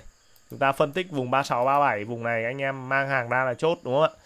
Đó thì uh, Hùng Lê cũng cũng cũng làm việc hết hết sức hết mình rồi. Tức là trong những cái gì mà có thể uh, biết uh, có thể cảnh báo cho các anh chị được đấy là những cái tín hiệu nguy hiểm thì Hùng sẽ nói lên.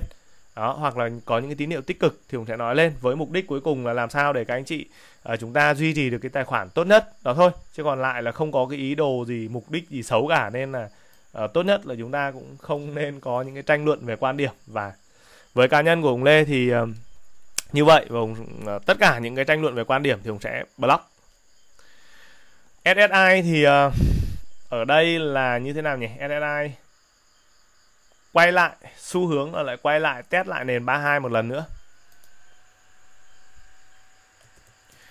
Ờ, uh, SHS có một cái nền hỗ trợ ở đây nền 26 đến nền 27 và sau một cái điểm phục hồi tế cộng thì cổ phiếu này lại đang có xu hướng quay về test nền. Đó và chính vì cái lý do là vì sao mà có những cái cảnh báo cho các anh chị đó là chúng ta uh, khi mà đây khi mà VN Index ở những cái vùng đó trong cái phiên ngày mùng 5 tháng 5 cũng có những cái cảnh báo là không tuyệt đối là chúng ta hạn chế đua giá xanh. Uh, các vị thế có lãi và chúng ta chốt đi. Đó thì chúng ta cũng có thể nhìn thấy và sau đây là biểu đồ tổng quan của VN Index thì chúng ta lại soi vào cổ phiếu thì chúng ta thấy rằng là à những phiên đua giá xanh ở đây. Đây là những phiên đua giá xanh. Phiên đua này là của phiên ngày thứ năm đây các anh chị. Ở uh, ngày thứ tư đấy ạ rồi phiên này là của ngày thứ năm và đây là của ngày thứ sáu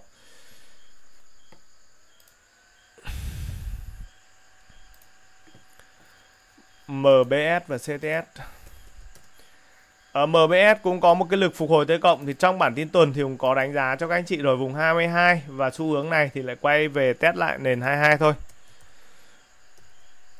Ờ, à, CTS ở đây hồi tế cộng vùng hỗ trợ của nó là vùng 14.5 biên hỗ trợ sâu hơn ở vùng 14 và xu hướng ngắn hạn thì cũng đang quay uh, về test lại ở đây vùng 14.5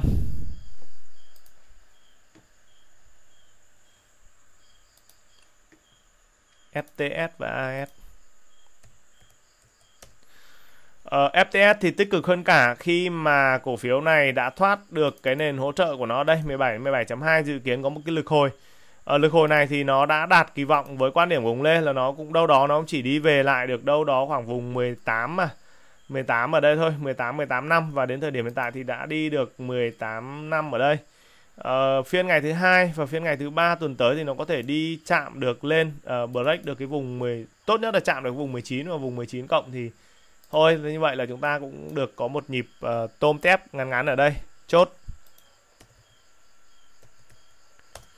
uh, cổ phiếu AS hồi rồi nhưng mà cũng chưa đạt. Nói chung là AS ở thời điểm hiện tại vùng 8 sẽ là vùng sẽ tính toán là vùng hỗ trợ.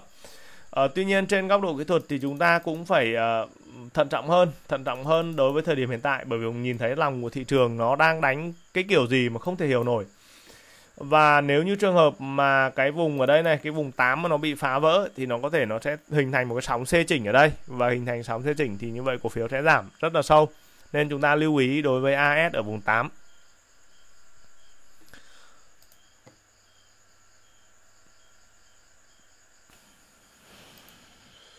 BVS VX ờ, BVS thì có đánh giá vùng hỗ trợ 20 từ vùng này thì sẽ xuất hiện một cái lực phục hồi T cộng và lực phục hồi này thì tương đối là ngắn. Và đến thời điểm kết tuần như thế này thì nó lại trả hết rồi.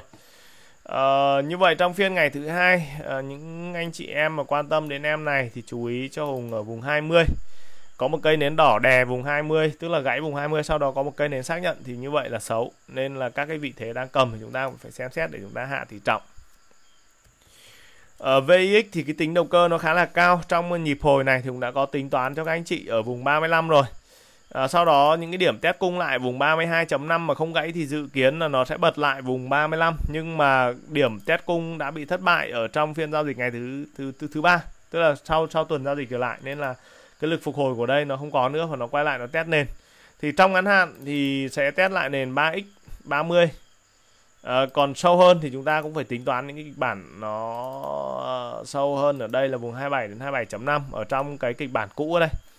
Đó thì suýt soát về đến gần cái vùng hỗ trợ thì nó kéo lên trong một cái nhịp phục hồi T ở đây.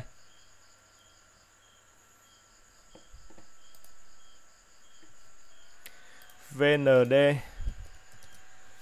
à, ờ, VND thì trong tuần vừa qua giao dịch uh, tương đối là tốt khi mà nó đã lần thứ hai uh, thoát nền 38 với một lực cầu tương đối ổn.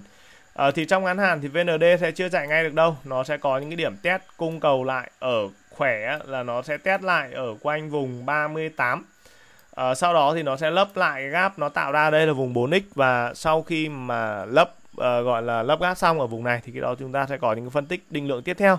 Nhưng về cơ bản thì cái xu hướng mà của VND à, ờ, nhìn trên cái góc độ tổng quan là tích cực và tốt hơn cả trong cái nhóm ngành của chứng khoán. Ok, Hùng sẽ uống một ngụm nước.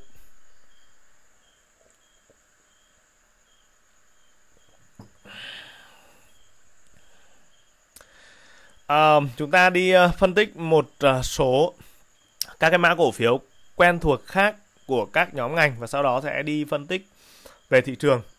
Còn trong thời điểm hiện tại thì gần như tất cả các nhóm ngành thì nó đang đang đang bị down chen các anh chị đang bị down chen. HAH của nhóm ngành cảng biển nó anh chị em nào mà đang có hàng ở vùng 26 này canh mà chốt này bởi vì cái vùng này là vùng kháng cự mà các anh chị. Nên là chúng ta đừng có mua đây. Mua đây là chúng ta chỉ có ôm ôm ấy thôi. Ôm trên ngọn cây thôi. Ờ, Ở GMD đó GMD đây. Đó trong một cái nhịp mà có phân tích một cái nhịp sóng hồi đây. Và như vậy nhịp sóng hồi này thì cũng đang uh, kết thúc rồi. Và đây là những cái tín hiệu mà chúng ta cần phải bán cổ phiếu ra. Đấy nó về lại cái vùng đây này. Về tinh ý, nó nó chỉ như vậy thôi vùng 35 nha anh chị. Đó vùng này là chúng ta bán được rồi ví dụ như vậy. VNA thì thời điểm hiện tại không có nhiều dư địa đi ngang ở quanh vùng 5.5 à, ờ, nhóm ngành ờ, cổ phiếu Viettel chúng ta có VGI à, ờ, thì VGI cũng đã có phân tích ở trên Zoom à, và đến thời điểm hiện tại thì chúng ta đang à, đang đang dự phóng dự phóng à, cái câu chuyện là xu hướng tạo nền ở quanh nền 31.5 đó thì đây là cái đu xanh. Đu xanh nó sẽ rất là nguy hiểm. Đó, không gì việc gì chúng ta phải đu xanh cả.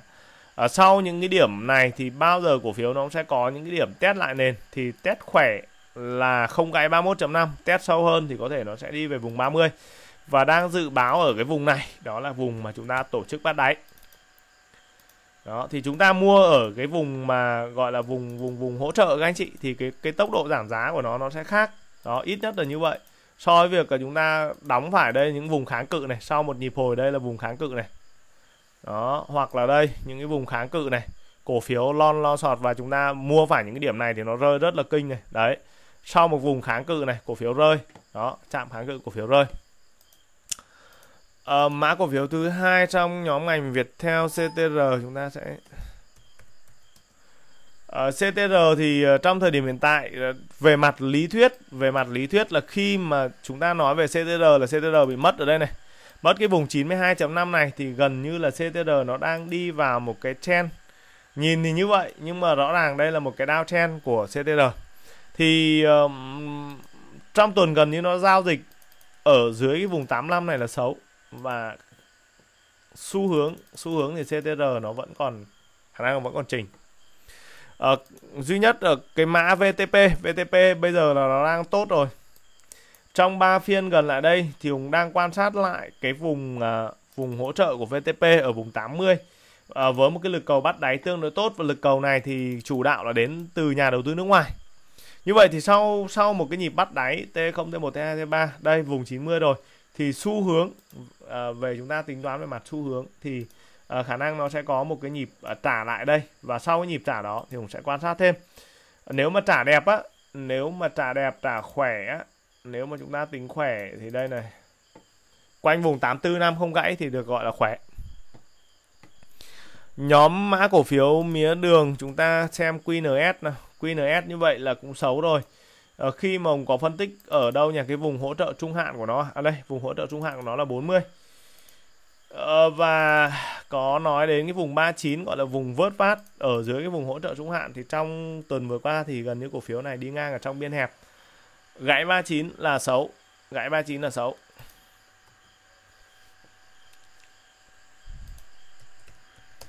Ờ, uh, SBT đến thời điểm hiện tại cũng như vậy SBT cũng đang đi vào downtrend rồi. Đây chỉ là những cái nhịp phục hồi kỹ thuật uh, ngắn thôi và gần như chúng ta đua thì chúng ta cũng không có ăn. À, vùng ờ, 20.5 trong bản tin tuần cũ Hùng phân tích là bị mất cái vùng này thì xu hướng xu hướng là nó sẽ đi về vùng 18 và nhìn ở trên một cái góc độ phân tích tổng quan thì chúng ta cũng thấy rằng là em này em ấy cũng đang đi một cái downtrend đó. Thì đây chính là lý do vì sao mà tài khoản của chúng ta không tăng đâu các anh chị. Mặc dù VN Index vẫn trên vùng 1.200 điểm mặc dù thị trường vẫn có những phiên tăng 18 điểm đấy là nó chỉ kéo một vài mã thôi. Đó khi thì nó kéo trụ khi thì nó kéo banh. Đó khi thì nó kéo uh, cái gì nhỉ? Uh, P khi thì nó nó kéo tức là nó kéo không phải kéo đồng loạt. P thì nó cũng chỉ kéo mỗi gát thôi ví dụ như vậy. Đó. Rất là khó khăn ở trong cái thời điểm hiện tại.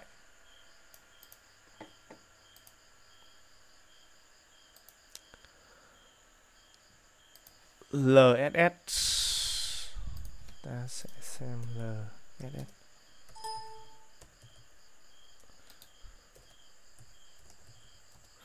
ở LSS như vậy là trong tuần đây. Chưa bị mất mốc 11 và nếu như LSS bị mất mốc 11 thì ờ, nó sẽ đây chỉ là một cái lực phục hồi T cộng ngắn để nó đi tiếp, nó đạp tiếp. Đó thì đây nó cái mô hình nó đi là như vậy và nó có thể hình thành một cái sóng C chỉnh ở đây nếu như nó bị mất mốc 11 các anh chị lưu ý nhóm ngành ờ, dệt may cũng không có, gần như là không có những cái yếu tố nổi bật nào nữa rồi. TCM ở ờ, TCM thì ờ, nó đi ngang quanh vùng 115 và đây nó đang có khả năng là đang là những cái nhịp mà nó phân phối. Nó đã tăng, nói chung là tăng cực kỳ khủng hoảng rồi. Và bây giờ thì tạo lập người ta có thể là người ta sẽ túc tác phân phối ở đây. TNG cũng không có nhiều các cái dư địa đó, sau một cái nhịp mà hình như cũng có nói đến anh chị này vùng này là vùng khuyến nghị canh chốt này. Rồi là sau đó thì chúng ta nói đến vùng 20.3 đến vùng 21 này. À, và đến thời điểm hiện tại thì nó cũng đang mường tượng một cái sóng chỉnh à, C nó chuẩn bị hình thành ở đây. Và nó có hình thành hay không thì chúng ta sẽ quan sát ở một góc độ là nếu nó gãy vùng 20 đó. Nên là cổ phiếu nó đang đi vào downtrend đây đang là downtrend các anh chị. Đó và nó nếu nó xuất hiện một cái sóng chỉnh C chỉnh thì nó sẽ đạp về vùng 16 và vô hình dung thì nếu chúng chúng ta nhìn rộng ra dài ra thì nó đang đi một cái downtrend này. Đó. Đây các anh chị nó đang đi một cái downtrend như này. Rất khó khăn. Ờ, ở EVE thì chúng ta nhìn trên trend tuần đi. Ok như vậy tuần này đang đóng ở quanh 15 đây là ngưỡng hỗ trợ cuối cùng của trend tuần. Thì uh, vùng này vùng này mà bị phá đó nó hồi này sau đó nó test lại. Và nó test lại bị thất bại thì ờ, cổ phiếu cũng sẽ đi vào một cái trend chỉnh giảm ở đây. VGT đến thời điểm hiện tại cũng không có quá nhiều cơ hội. Không có quá nhiều cơ hội. Ở vùng hỗ trợ 14 và đây cũng chỉ là những cái lực phục hồi đánh ờ, T cộng rất ngắn rất ngắn và rất có thể là nó sẽ quay trở lại test lại vùng 14 vùng 14 thất bại các anh chị lưu ý vùng 14 thất bại thì như vậy là nó sẽ đi tiếp về những cái vùng thấp hơn đó là tại vùng 10 và như vậy thì chúng ta cũng có thể nhìn thấy đây một cái downtrend tổng thể của cổ phiếu đó đang đi vào downtrend GIL thì trong tuần hình như có phiên tăng trần hay sao? Ôi hai phiên à một phiên tăng trần và sau đó thì cũng đang đạp lại nền. À, đạp lại nền thì đối với GIL thì nếu mà không nhầm thì cũng đã nói với các anh chị là vùng 70. 70 mà không gãy thì chúng ta cứ túc tắc, chúng ta mua, chúng ta đảo, chúng ta cầm. Còn nếu gãy thì thôi, chúng ta sẽ chốt nốt. Và nó gần như nó cũng hết cái câu chuyện của GTN bởi GTN nó cũng đã có một cái lực tăng. Đây các anh chị. Đó. Cái con GIL này là cũng có phân tích. Ở đây một cái sóng GIL là một cái sóng gọi là cực kỳ khủng hoảng, cực kỳ khủng hoảng. Và chúng ta đã ăn được rất nhiều rất nhiều tiền ở cái sóng này. Gọi là sóng ngành khu công nghiệp ở năm 2020 và đến ờ, thời điểm hiện tại thì cái nhóm ngành khu công nghiệp là nó cũng đang bị phân phối gọi là một là đi ngang hai là phân phối rồi nó cũng không còn cơ hội nữa. À, nhóm ngành thủy sản thì sao các anh chị? Nhóm ngành thủy sản cũng không có gì cả. Ví dụ cũng sẽ phân tích cho các anh chị hai cái mã gọi là điển hình nhất VHC đó thì VHC ở thời điểm hiện tại này đó à, từ đâu đầu năm 2021 thì ờ, VHC có một nhịp đánh lên và bây giờ đến thời điểm hiện tại thì là quay trả hết về nền rồi vùng 35 đến vùng 36 ờ, và về đến vùng này thì cũng đang quan sát cái tín hiệu tạo đáy tạo nền của nó ở đây. Nhưng nếu mà chúng ta nhìn ở trên một góc độ tổng quan ấy, thì đây cũng có thể gọi là một cái downtrend bởi vì nó tạo được đỉnh của nó ở vùng 46 đỉnh thứ hai nó chỉ tạo được ở quanh vùng 4 mấy đó 43 năm. Đó 43 năm là đứt rồi đỉnh ờ, thứ ba nó chỉ tạo được quanh vùng 40 ví dụ như vậy và đỉnh cuối cùng thì nó chưa có chưa chưa chưa có xây. Đó thì cái câu chuyện là nếu mà như vùng hỗ trợ này vùng hỗ trợ 35 36 bị phá thì ở cái xu hướng cổ phiếu nó sẽ như thế nào? Tức là cổ phiếu cổ phiếu nó sẽ đi tiếp nó sẽ đao tiếp các anh chị. Và cái lực đao này nó sẽ đao rất mạnh. Lực đao này sẽ đao rất mạnh rơi rất mạnh sau này. Đó ví dụ như vậy. Ờ, hoặc là mã cổ phiếu ờ, uh, MPC đó ví dụ như vậy thì đấy thời điểm hiện tại thì chúng ta cũng gần như thấy rằng là MPC cũng đi ngang. Đó đi ngang và thậm chí không không phải là đi ngang mà nó đang đi một cái downtrend. Đó cái vùng nó tạo được đỉnh của nó ở đây nó là vùng vùng 40 đó thì nó đang đi lại như này. Và nếu uh, trong những cái phiên những cái tuần giao dịch tiếp theo mà cổ phiếu này bị phá vỡ vùng 34 phá vỡ vùng 34 thì một cái cây nến đỏ này nó đè đây.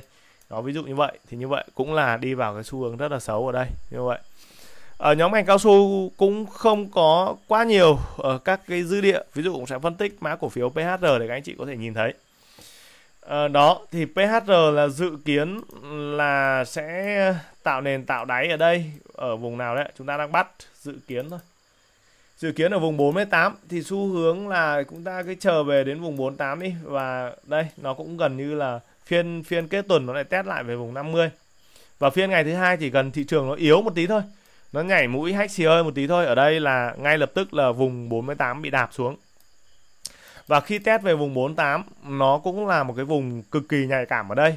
Nếu nhìn dài nhìn rộng ra mà vùng 48 mà không giữ được á các anh chị lưu ý vùng 48 mà không giữ được thì nó đạp tiếp này. Đó, nó đạp tiếp như này. Rất là nguy hiểm. Đó ví dụ về PHR ở ờ, GVR nó cũng không ờ, uh, GVR là bắt được cái nhịp ở đây nói chung là ăn có được mấy đâu anh chị. Lên được đến đây 26 lại bị đổ rồi. Đó không được bao nhiêu trong những cái điểm đánh rất là khó khăn. À, và những điểm đổ này thì xu hướng nó lại test lại đây rồi. Lại test lại vùng 22.5 đó. DRI cũng như thế nào ạ? DRI thì đang ở trong một cái biên đâu đó đây này khoảng à, vùng à, vùng 8.9 đến khoảng vùng 10 nói chung đi trong biên này DRC DRC thì cũng không có nhiều yếu tố đột biến, xu hướng vẫn đang đi ngang tích lũy ở vùng 22 à 25.5 đến khoảng vùng 26. Như vậy là cổ phiếu cũng không có dư địa để tăng trưởng. Đó thì uh, như vậy là đã view xong cho các anh chị nhìn thấy một cái góc độ tổng quan về thị trường các cái mã cổ phiếu các cái nhóm ngành. Thì uh, một cái góc nhìn chung đó là gần như các cái mã cổ phiếu make up uh, ờ, những cái nhóm ngành cơ bản của chúng ta thì uh, đang đi trong một cái downtrend đang đi trong một cái downtrend. Uh, mặc dù là VN Index của chúng ta vẫn trên vùng 1.200 điểm VN30 vẫn đóng trên những cái vùng kháng cự uh, vùng vùng vùng gọi là vùng hỗ trợ rất là mạnh. Và chúng ta cũng có những phiên giao dịch tăng điểm rất là tí tã luôn. Đó những cái phiên tăng điểm 18 điểm 20 điểm nhưng mà Ờ, cái những cái nhóm ngành uh, trong cái lòng của thị trường nó đang đau như vậy thì những cái điểm số tăng đó nó đang che mắt tức là nó đang ngụy trang uh, những cái lòng của thị trường nó đang diễn biến. Đó. Chính vì vậy nên là chúng ta nhìn thấy rằng là tài khoản chúng ta không tăng là vì như vậy bởi vì cái lòng của thị trường nó mới là quan trọng. Chứ còn những cái điểm số đó nó chỉ có che mắt chúng ta thôi hoặc là nó sử dụng vào những cái mục đích tạo lập về phái sinh uh, mục đích long cổ phiếu à long long phái sinh và sọt phái sinh. Uh, trong những năm của năm cũ của năm 2020 thì chúng Lê để ý thấy rằng là có những phiên ở thị trường chỉ tăng có 5 điểm thôi 10 điểm thôi, nhưng mã, những cái mã cổ phiếu chúng ta cầm nó tăng rất là sướng và tăng rất là thích. Đó ờ, không phải cái câu chuyện điểm số tăng mạnh mà cổ phiếu của chúng ta tăng mạnh đâu. Đó ờ, bởi vì trong cái thời điểm hiện tại là tạo lập dùng quá nhiều vào cái ý đồ của người ta, tức là ý đồ của người ta thì nó sẽ phục vụ mục đích của người ta, nôm na là như vậy đó thì à, câu chuyện đó thì chúng ta sẽ không nói sâu ở trên à, các bản tin tuần chúng ta sẽ tập trung để chúng ta phân tích. Thì đây là chúng ta có thể nhìn thấy VN30 đây. Đó một tuần chỉ số VN30 tăng rất mạnh. Ờ, và gần như nó cũng đã vượt thoát hết tất cả mọi những cái ngưỡng, ngưỡng kháng cự đây. Nhưng mà xây ở trên một cái nền tảng đó là trên cơ sở là kéo trụ uh, kéo một số các cái mã cổ phiếu banh và sự hậu thuẫn của một số các cái mã cổ phiếu blue vừa ví dụ như Novaland đó VN30 F1M cũng như vậy. VN30 F1M gần như cũng thoát hết tất cả mọi kháng cự trên trên tuần. Nó trên tuần là nó thoát hết tất cả mọi kháng cự ở đây. Và đang có hai phiên kết tuần thì khả năng là đang test lại. Ở chỉ số VN Index cũng như vậy. VN Index thì chưa thoát được hết các cái kháng cự và nó chạy về được đến vùng 1265 thì đang bị chỉnh giảm quay trở lại.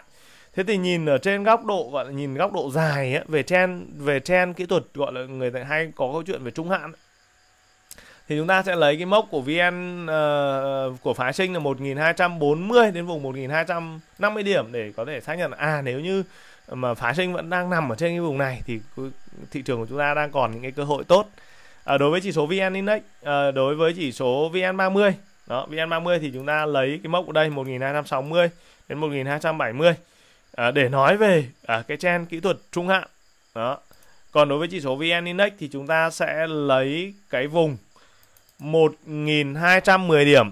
Cái vùng 1210 điểm này Lùng Lê đã phân tích rất nhiều các cái tình huống các cái trận đấu mà uh, trận đấu trước ở đây này. Đấy cũng là chúng ta cũng phân tích một cái cái cái cái trận thi đấu ở vùng 1200 điểm rất là căn căn căn go. Và trong ngắn hạn thì vùng 1200 1210 điểm đang phản ứng rất tốt với những cái trend kỹ thuật uh, ngắn hạn của thị trường còn à, nếu như nhìn trên góc độ ngắn hạn thì à, thông thường thì chúng ta sẽ sử dụng biểu đồ M5 để chúng ta đi phân tích à, kỹ thuật của thị trường. Thì trong tuần vừa qua à, nó có hai điểm nhấn về mặt kỹ thuật mà Hùng đã có ngay đầu bản tin thì Hùng đã có phân tích cho các anh chị rồi. Cái điểm nhấn kỹ thuật thứ nhất đó là trong uh, phiên giao dịch của ngày thứ ba thì uh, thị trường của chúng ta à, phiên giao dịch ngày thứ tư thì thị trường của chúng ta đã đánh break tất cả mọi kháng cự tuần. Và đến 10 giờ 30 phút thì Hùng đã có những cái phân tích khuyến nghị uh, dành cho anh chị em nhà đầu tư. Đó là chúng ta sẽ uh, hạn chế cái câu chuyện đuổi mua giá xanh hạn chế những cái điểm mua mới. Bởi vì ở những cái điểm mua đó nó sẽ có những cái bất lợi về mặt T cộng 3 phái sinh người ta sọt rất nhanh có thể sáng người ta long rất mạnh mẽ thị trường tăng rất là xanh nhưng chỉ cần 5 phút thôi 10 phút thôi họ đảo sọt họ họ đảo từ long họ đảo sang sọt một cái thì thị trường cơ sở của chúng ta sẽ biến động rất là nhanh. Đó giá sẽ giảm theo. Thì câu chuyện là T3 hàng cơ sở mới về nhưng phái sinh là người ta làm vòng thế là người ta ăn mấy nhát rồi. Như vậy là vô hình dung là à, chúng ta đua giá xanh thì chúng ta đang phục vụ mục đích long của phái sinh đó và đến lúc mà người ta đảo sọt thì chúng ta không chúng ta bị gọi là bị bơ vơ giữa giữa cuộc đời.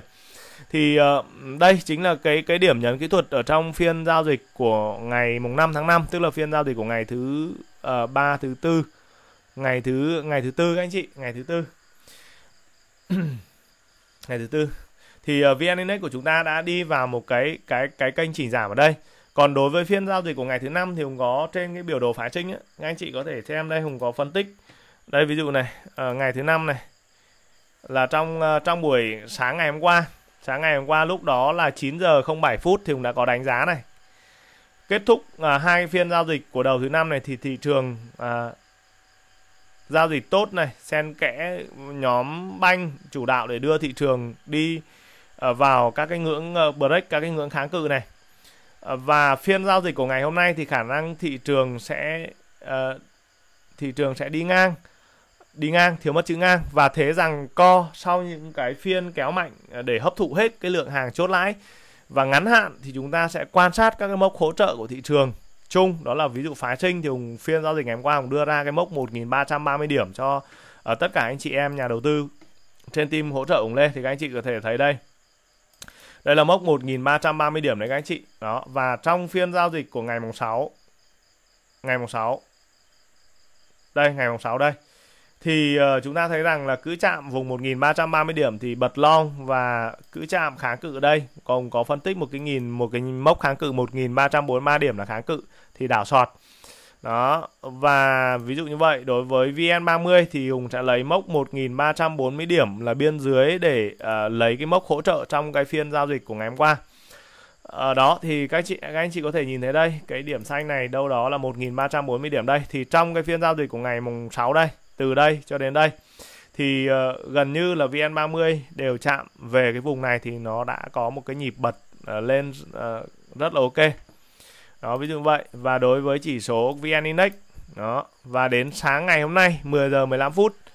Đó, sáng ngày hôm nay, lúc đó 10 giờ 15 phút thì cũng tiếp tục có những cái đánh giá về thị trường, tức là phái sinh thì chúng ta sẽ lấy ở cái biên nào. Ví dụ như là lấy biên 1.330 điểm đến biên 1.327 điểm làm biên hỗ trợ. Và trường hợp nếu như bị phá mốc 1327 điểm thì cái pha sọc ở sau đó, ví dụ như vậy, đúng không ạ?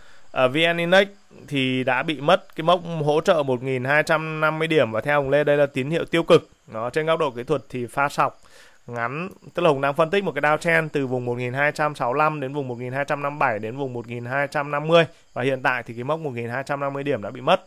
Cùng với đó thì chỉ số phái sinh à, chỉ số VN30 thì cũng có phân tích cái biên 1340 đến 1336 uh, uh, cho cái biên hỗ trợ trong cái phiên giao dịch của ngày hôm nay, tức là lúc đấy khoảng tầm 10 giờ 15 phút thì cũng bắt đầu lên cái phân tích này. Và ờ, ông đánh giá rằng cái thế tận rằng co tiếp diễn và long sọc thì đang thi đấu ở một cái trạng thái khá là cân bằng tại cái thời điểm ờ, ở 10 giờ 10 giờ 30 và sau cái giai đoạn đi ngang thì ờ, sẽ có thêm những cái phân tích định lượng. Tức là sau một cái giai đoạn biên mà phái sinh đi như này thì chính thức là đến phiên chiều đúng không ạ? Phiên chiều đây trên chiều đây thì ờ, phá phái sinh bị phá vỡ mất cái vùng 1303 à VN bị phá mất cái vùng 1336 điểm nên là à, sau đó thì cái điểm sọt của nó đã đã sọt rất là mạnh về vùng hỗ trợ 1330 điểm. Thì uh, phiên giao dịch của ngày thứ hai tuần tới các anh chị uh, vì là uh, trên góc độ tổng quan tuần thì chúng ta sẽ uh, có thêm những cái điều chỉnh về kịch bản phân tích còn à, ngắn hạn thì hùng sẽ nói với các anh chị ở góc độ là một đến hai phiên giao dịch. À, thì nhìn chung đối với chỉ số vn30 nó đang cũng đang đi vào một cái thế trận đó là thế trận chỉnh giảm thế trận chỉnh giảm. Thì nó sẽ cần uh, có thêm những cái tín hiệu kỹ thuật uh, ở vùng ở đây này. Ở vùng ở đây là vùng bao nhiêu đấy ạ? Tức là phiên ngày hôm nay nó chạm về đây. Ở vùng 1345 điểm của VN30 thì chúng ta sẽ có thêm cái đánh giá về mặt kỹ thuật ở đây. À, nếu như cổ uh, tỷ chỉ số VN30 break được vùng 1340 điểm thì cái trend long lại bắt đầu quay trở lại và khả năng thì tạo lập sẽ tiếp tục kéo một là kéo trụ, hai là tiếp tục kéo banh.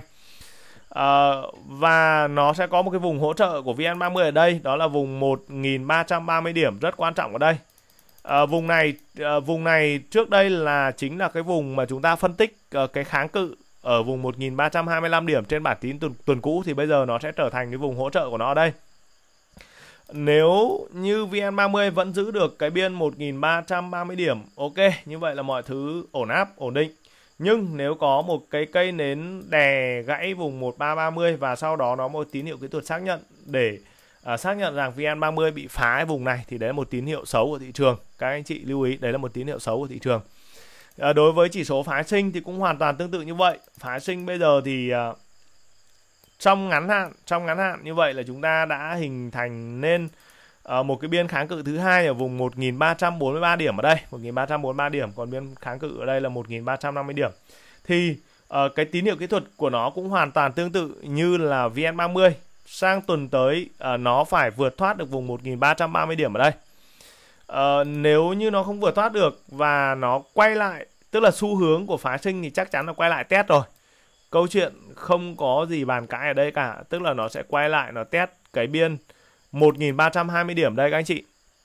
Chính là cái vùng mùng đã lấy để phân tích kháng cự tuần thì nó sẽ test lại cái vùng này. Đó, nó sẽ test lại vùng này và vùng này bị phá vỡ, vùng này bị phá vỡ và như trong phiên giao dịch ngày hôm nay thì nó bị phá vỡ đến đâu ạ? Đến đâu thì chúng ta sẽ lấy à đây, phá vỡ đến vùng 1315 điểm.